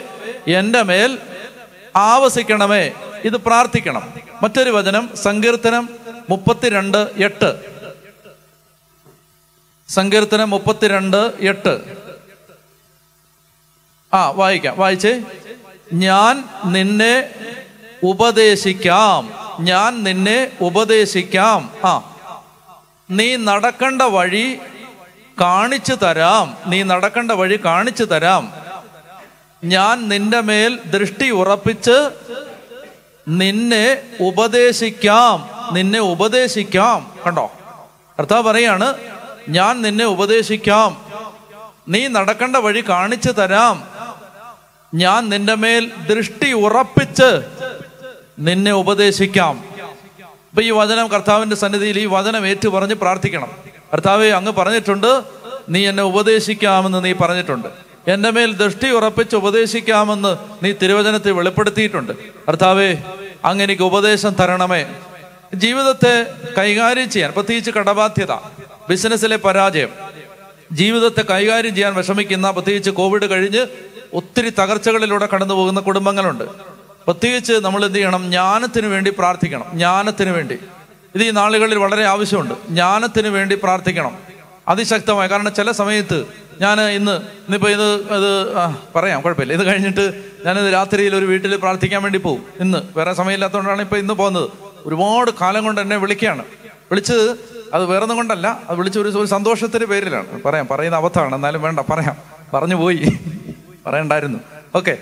അതായത് ഒരു എനിക്ക് ഒരു ഒരു ഒരു ഒരു ഏഴെട്ട് കൊല്ലം മുമ്പായിരിക്കണം ഞാൻ ഈ പറയാൻ പോകുന്ന സംഭവം. ഒരു ദിവസം ഇവിടെ പ്രാർത്ഥനാലയത്തിന്റെ മുറ്റത്ത് നിന്ന് ഒരു ഭാര്യയും ഭർത്താവിന്റെ അടുത്ത് പറഞ്ഞു ഞങ്ങൾ ആത്മഹത്യ ചെയ്യാൻ പോവാണ്. ഞങ്ങൾ ആത്മഹത്യ ചെയ്യാൻ പോവാണ്. കാരണം ഞങ്ങളുടെ മുമ്പിൽ ഇനി ഒരു വഴിയില്ല. അച്ഛാ ഞങ്ങൾക്ക് ഇനി ഇനി ഞങ്ങൾക്ക് ഒരു വഴി ഇനിയില്ല ഞാൻ ഇന്ന് ആത്മഹത്യ ചെയ്യാൻ പോവാണ്. ഞങ്ങൾ ആത്മഹത്യ ചെയ്യും. ഞാൻ പറഞ്ഞു നീ പരിശുദ്ധാത്മാവിന്റെ ജ്ഞാനത്തിന് വേണ്ടി പ്രാർത്ഥിക്കുക പരിശുദ്ധാത്മാവ് സഹായിക്കും. ഇപ്പൊ ഈ ഏഴെട്ട് കൊല്ലം കഴിഞ്ഞ് എന്നെ ഒരുപാട് കാലം കൊണ്ട് അവർ വിളിച്ചോണ്ടിരിക്കുകയാണ്. പറയാണ് അച്ഛാ അച്ഛനൊന്ന് വന്ന് ഞങ്ങളെ ഒന്ന് അനുഗ്രഹിക്കണം. പക്ഷെ ഇവിടെ വരണം. കാരണം എന്താ അറിയാ ഞങ്ങൾ രണ്ടുപേരും തൂങ്ങി ആടേണ്ട ഒരു സ്ഥലമാണിത്. അവിടുന്ന് ഞങ്ങളുടെ ദൈവം ഞങ്ങളെ ജ്ഞാനം തന്ന് കൃപ തന്ന് ഉപദേശം തന്ന് രക്ഷിച്ച് ഞങ്ങളെ ദൈവം നല്ല നിലയിലാക്കി. മനസ്സിലായോ? അത് അപ്പം ഞാൻ ഈ പറയുന്നില്ല. ഇനി പറഞ്ഞ അബദ്ധം അതൊന്നും ഞാൻ പറയുന്നില്ല. കാരണം ആ റൂട്ടിൽ ഒത്തിരി വീടുകളുണ്ട് നിങ്ങളുടെ അതുകൊണ്ട് നിങ്ങൾ പറയാം ചായ കടകോട് പറയണ്ടായിരുന്നു. അബദ്ധമായി പോയി ഓക്കെ പറഞ്ഞേ. ഹാലേ ലുയാ പറഞ്ഞേ ഹാലേ അപ്പോൾ അപ്പൊ അതായത് ജ്ഞാനം അതുകൊണ്ട് തന്നെ ആത്മഹത്യ ആത്മഹത്യ. എനിക്ക് ഞാൻ കഴിഞ്ഞ കഴിഞ്ഞ ആഴ്ചയിൽ ധ്യാനം കൂടാൻ വന്ന ഒരു സഹോദരി കേരളത്തിന്റെ അങ്ങേ അറ്റത്ത് നിന്ന് കേരളത്തിലെ കർണാടകയിൽ നിന്ന് വന്നാണ് കർണാടകയിൽ നിന്ന്.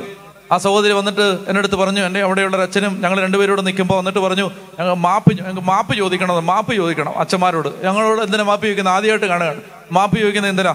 അപ്പോൾ പറഞ്ഞു അച്ഛാ ഈ ധ്യാന കേന്ദ്രത്തിലേക്ക് വരുന്ന വരുന്ന സമയത്ത് ട്രെയിനിൽ നിന്ന് ചാടി ചാവാൻ വേണ്ടി ഞാനും എന്റെ മകളും ഡോറ് വരെ പോയി നിന്നെന്ന് പറഞ്ഞു. ഈ ധ്യാനകേന്ദ്രത്തിൽ ധ്യാനം കൂടാൻ വരുന്നതിന് "ഏയ് എന്ത് വേണ്ട ദൈവത്തെ തേടി പോകണ്ട. ഞങ്ങൾ ചാടി ചാവാൻ വേണ്ടി വാതുക്ക വരെ പോയി നിന്നെന്ന് പറഞ്ഞു. പക്ഷേ എങ്ങനെയോ ദൈവത്തിന്റെ ആത്മാവ് തിരിച്ചു പിടിച്ചു.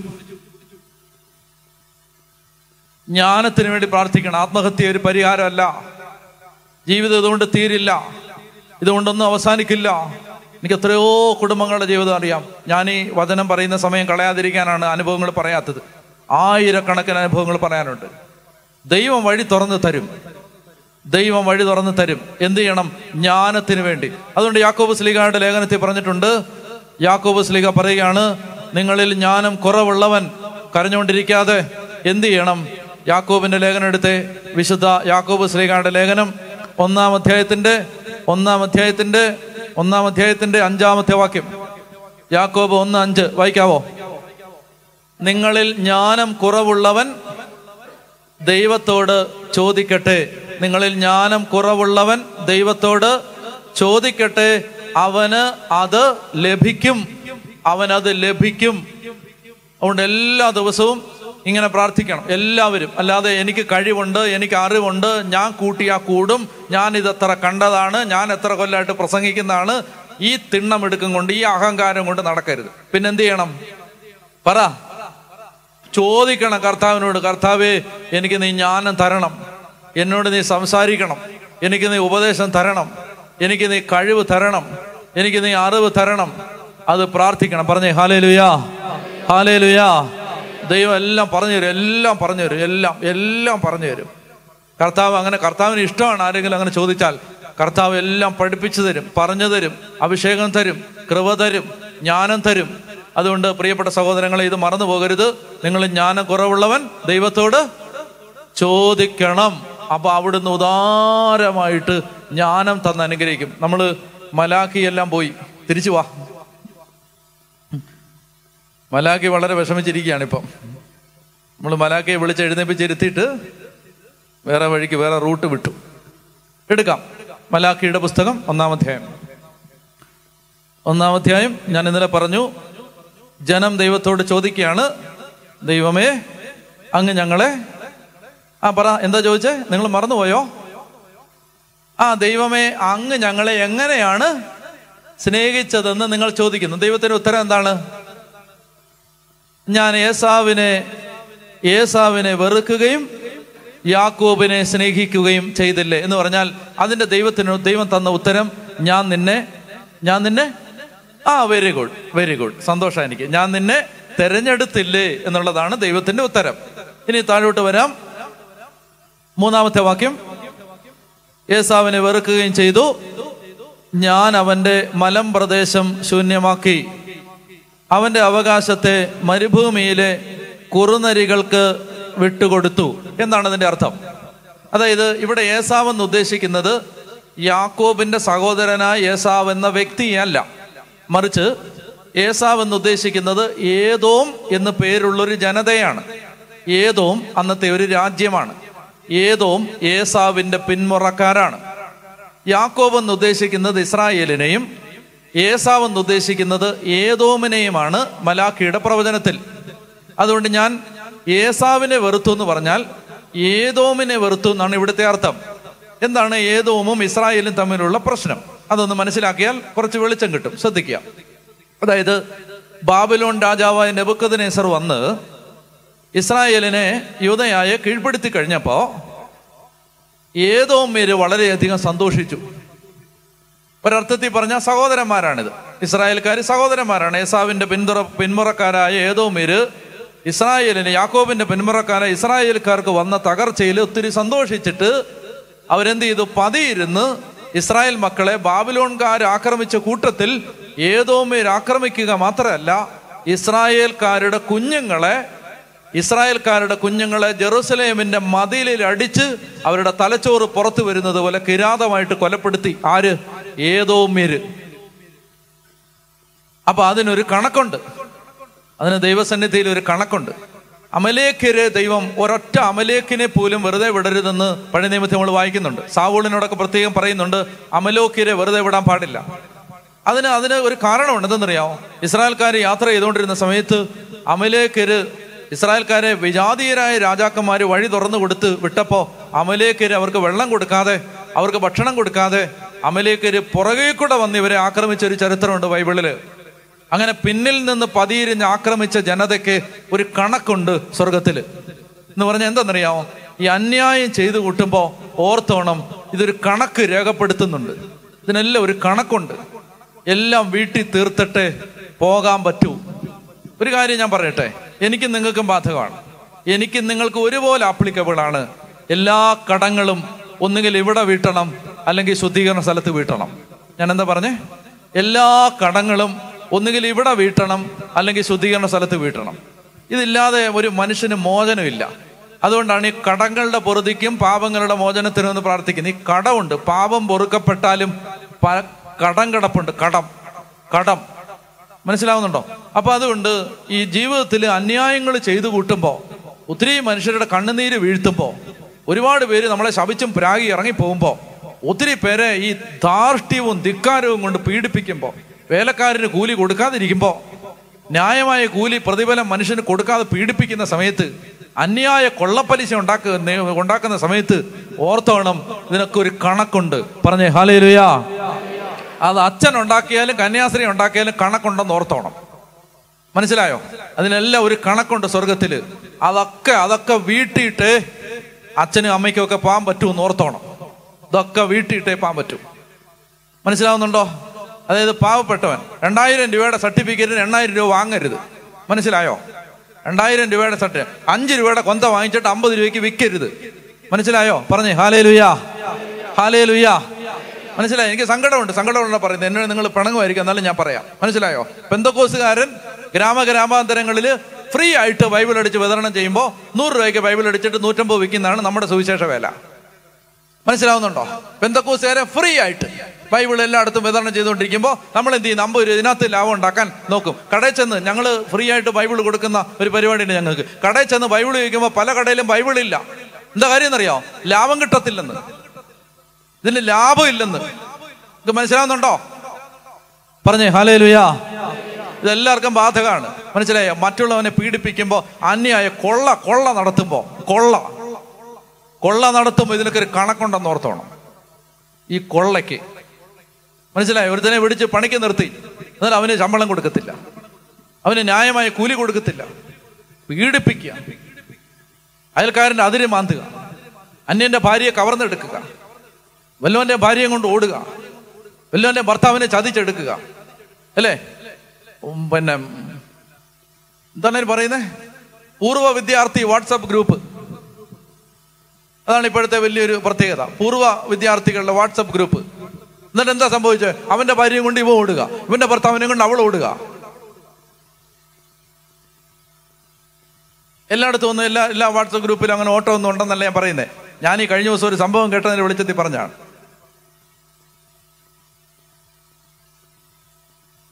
എല്ലാത്തിനും ഒരു കണക്കുണ്ടെന്ന് ഓർത്തോണം.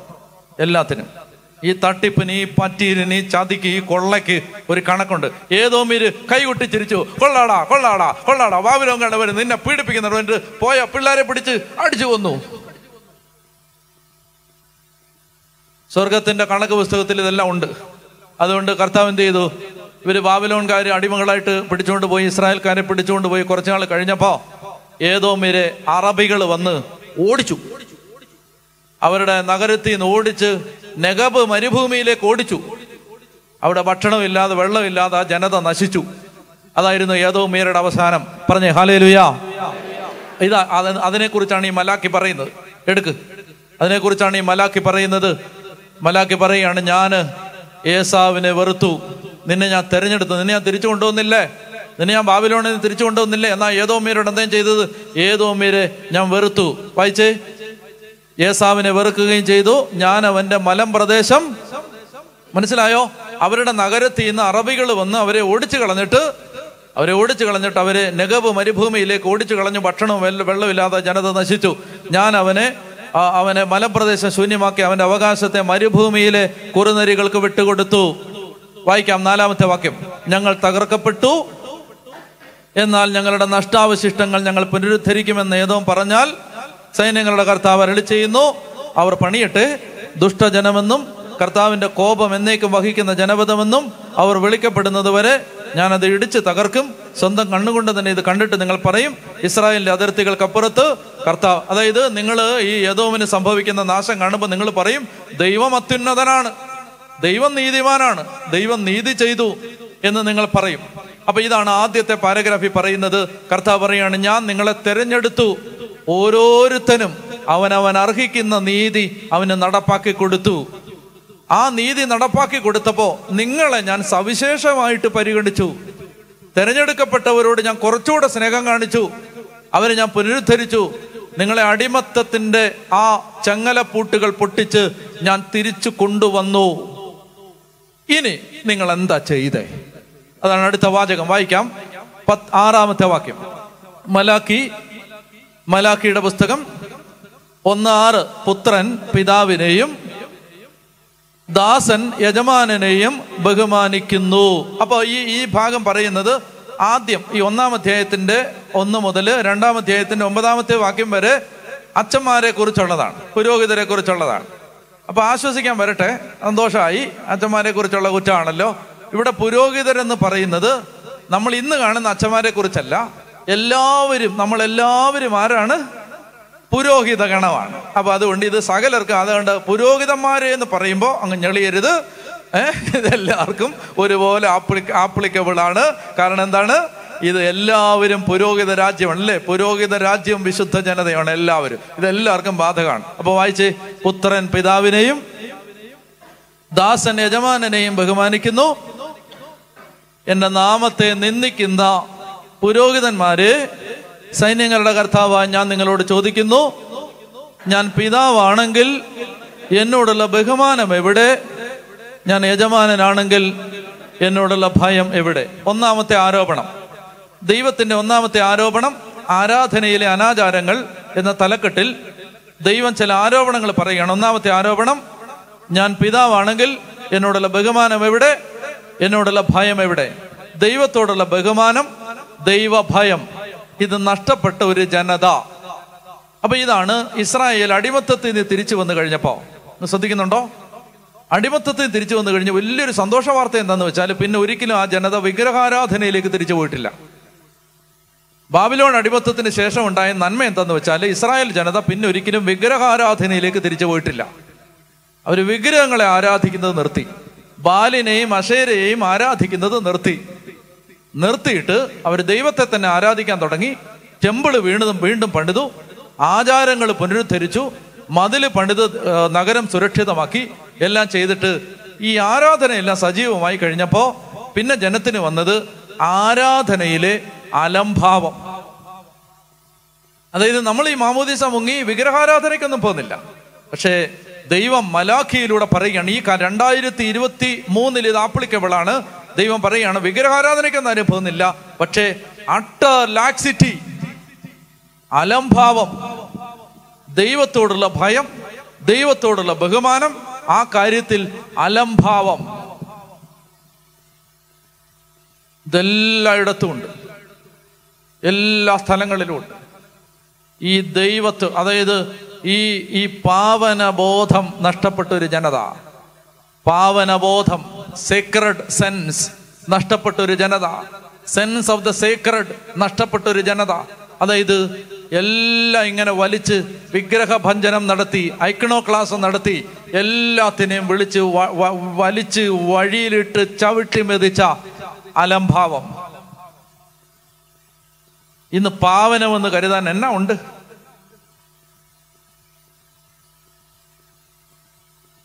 എന്നാ ഉണ്ട്? സേക്രഡ് ചുമ്മാ ഒരു ചുമ്മാ ഒരു ഉദാഹരണം പറയട്ടെ. തെറ്റിദ്ധാരണ ഉണ്ടാവാതിരിക്കാൻ. ബൈബിൾ.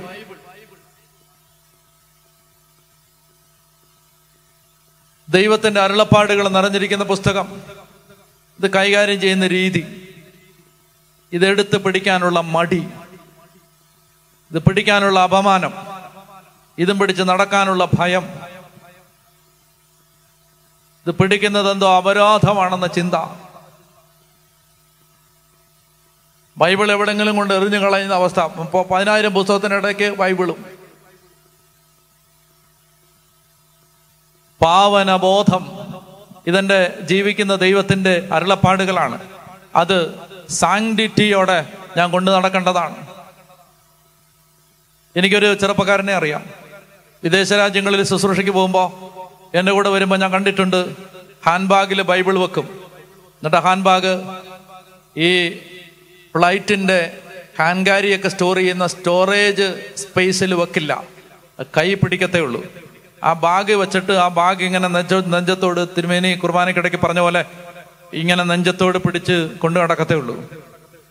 എയർ ഹോസ്റ്റസ് നിർബന്ധിക്കും. സാർ അത് മേളി വെക്കാം. അല്ല മേളി വെക്കില്ല. ദിസ് ഈസ് മൈ ബൈബിൾ എന്റെ വേദപുസ്തകമാണ്. ഞാനത് അങ്ങനെ അങ്ങനെ കൊണ്ടുവെക്കാൻ പറ്റില്ല. അത് താഴെ വെക്കില്ല. നിലത്ത് വെക്കില്ല. പാവനബോധം.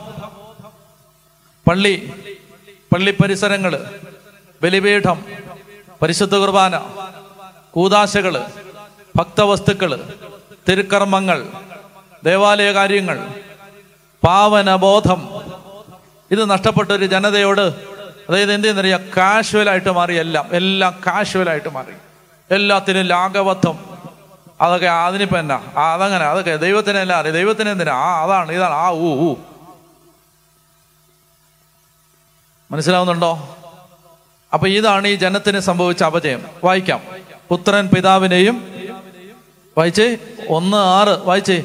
പുത്രൻ പിതാവിനെയും ദാസൻ യജമാനനെയും ബഹുമാനിക്കുന്നു. ആ എന്റെ നാമത്തെ നിന്ദിക്കുന്ന പുരോഹിതന്മാരെ സൈന്യങ്ങളുടെ കർത്താവായി ഞാൻ നിങ്ങളോട് ചോദിക്കുന്നു. ഞാൻ പിതാവാണെങ്കിൽ എനിക്കുള്ള ബഹുമാനം എവിടെ? ഞാൻ യജമാനനാണെങ്കിൽ എന്നോടുള്ള ഭയം എവിടെ? ഇത് ഇന്ന് ഈ നാളുകളിൽ ദൈവം ചോദിക്കുകയാണ് എന്നോട് നിങ്ങളോടും. ഞാൻ ദൈവമാണെങ്കിൽ എന്നോടുള്ള ഭയം എവിടെ? മൂന്ന് വാക്കുകൾ ദൈവത്തെക്കുറിച്ച് ഓർക്കണം. ഒന്ന് അവൻ സ്രഷ്ടാവാണ്. രണ്ട് അവൻ രാജാവാണ്. മൂന്ന് അവൻ ന്യായാധിപനാണ്. ദൈവം പിതാവാണ്. അതവിടെ നിൽക്കുമ്പോൾ ഒന്നാമത് അതവിടെ നിൽക്കേണ്ട ദൈവം പിതാവാണ്.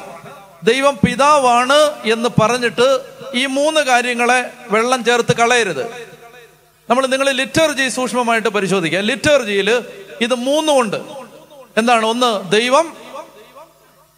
എന്തൊക്കെയാ പറഞ്ഞ? ദൈവം. സ്രഷ്ടാവാണ് ക്രിയേറ്റർ. രാജാവാണ് കിങ് ന്യായാധിപനാണ് ജഡ്ജ്. ഇത് മറക്കരുത്. ദൈവം പിതാവാണ്. അത് ഒന്നാമത് അങ്ങനെ നിൽക്കട്ടെ. ദൈവം പിതാവാണ്. പക്ഷെ ദൈവം പിതാവായതുകൊണ്ട് ദൈവത്തിന്റെ ഈ മൂന്ന് ഭാവങ്ങളെ വെള്ളം ചേർക്കരുത്. ഒന്ന് ദൈവം സ്രഷ്ടാവാണ്. രണ്ട് ദൈവം രാജാവാണ്. മൂന്ന് ദൈവം മനസ്സിലായോ? സർവശക്തനും പിതാവുമായ ഏകദൈവത്തിൽ ഞാൻ വിശ്വസിക്കുന്നു. എന്നിട്ട് പറയുകയാണ് അവൻ നമ്മൾ സൃഷ്ടിച്ച ദൈവം സൃഷ്ടിച്ച ദൈവം സ്രഷ്ടാവായ ദൈവം. ഇത് ശ്രദ്ധിക്കണം. ശ്രദ്ധിക്കുന്നുണ്ടോ? സ്രഷ്ടാവ് എന്ന് പറഞ്ഞാൽ എന്താ? നമ്മുടെ ക്രിയേറ്റർ എന്ന് പറഞ്ഞാൽ മതബോധന ഗ്രന്ഥം പറയുന്നു സൃഷ്ടി സ്രഷ്ടാവെന്ന നിലയിൽ ദൈവത്തിന് ആരാധന സമർപ്പിക്കാൻ കടപ്പെട്ടിരിക്കുന്നു. മനസ്സിലായോ? പിതാവാണ് എന്ന് പറഞ്ഞിട്ട് ദൈവത്തെ അത് കുഴപ്പമില്ല. ദൈവത്തിന് അറിയാലോ. നോ ഈ three dimensions of the character of God should never be undermine ഇതിനെ വെള്ളം ചേർക്കരുത് ഡൈല്യൂട്ട് ചെയ്യരുത് വാട്ടർ ഡൗൺ ചെയ്യരുത്. എന്താണ് ദൈവം? കേൾക്കുന്നുണ്ടോ? ദൈവം. ഹലോ സൃഷ്ടാവാണ് രാജാവാണ്. ന്യായാധിപനാണ്. മലങ്കരക്കാരെ. ഉണ്ടോ? സ്വഭാവപ്രകാരം മരണമില്ലാത്തവനും എന്നൊരു പ്രാർത്ഥനയുണ്ടല്ലോ. അത് ചൊല്ലാവോ? ഇങ്ങനെ അരങ്ങി മുള്ളിയും ചൊല്ലു നാട്ടുകാരൊക്കെ കേൾക്കുന്നതാണ്. പിന്നെ ഇത് റെക്കോർഡ് ചെയ്യുന്നുണ്ട് ഉറക്കെ ചൊല്ലാവോ?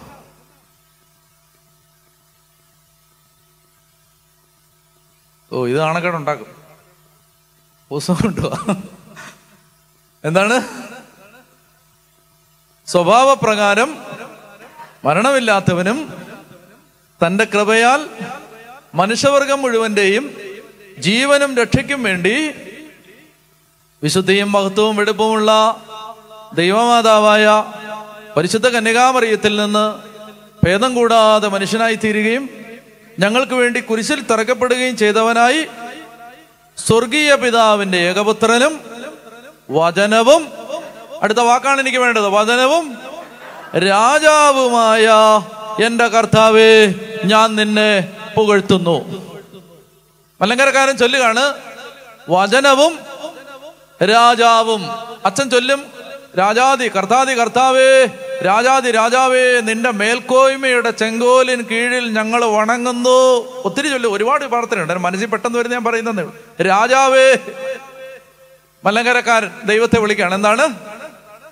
പിതാവേ എന്നല്ല. എന്താ വിളിക്കുന്നേ? നിങ്ങൾ ലിറ്റർജിയെ ശ്രദ്ധിക്കണം ലിറ്റർജി എല്ലാം ഉണ്ട് ലിറ്റർജിക്കകത്ത് എന്താണ്? രാജാവേ രാജാവേ. ഒത്തിരി ഉണ്ട്. സിറോ മലബാറുകാർ കർത്താവേ മമ രാജാവേ. മനസ്സിലായോ? കർത്താവേ മമ രാജാവേ. പിന്നെ വേറെയുണ്ട് അഖില ചരാചര കർത്താവാം ദൈവത്തിനു ആ ന്യായവുമാണത് യുക്തവുമാം. പൂർവപിതാവാം അബ്രാഹം ഇസഹാക്ക് യാക്കോബ് എന്നിവർത്തൻ ദൈവമേ നിത്യം ആരാധ്യൻ രാജാവേ നിൻ. രാജാവാണ് രാജാവ്. മറന്നു പോരുത് ദൈവം രാജാവാണ്. ദൈവം സ്രഷ്ടാവാണ്.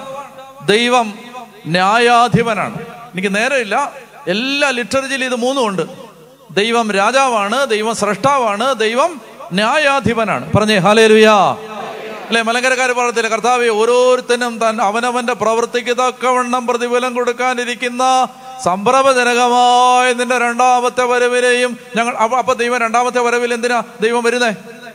ന്യായാധിപൻ. ന്യായാധിപൻ.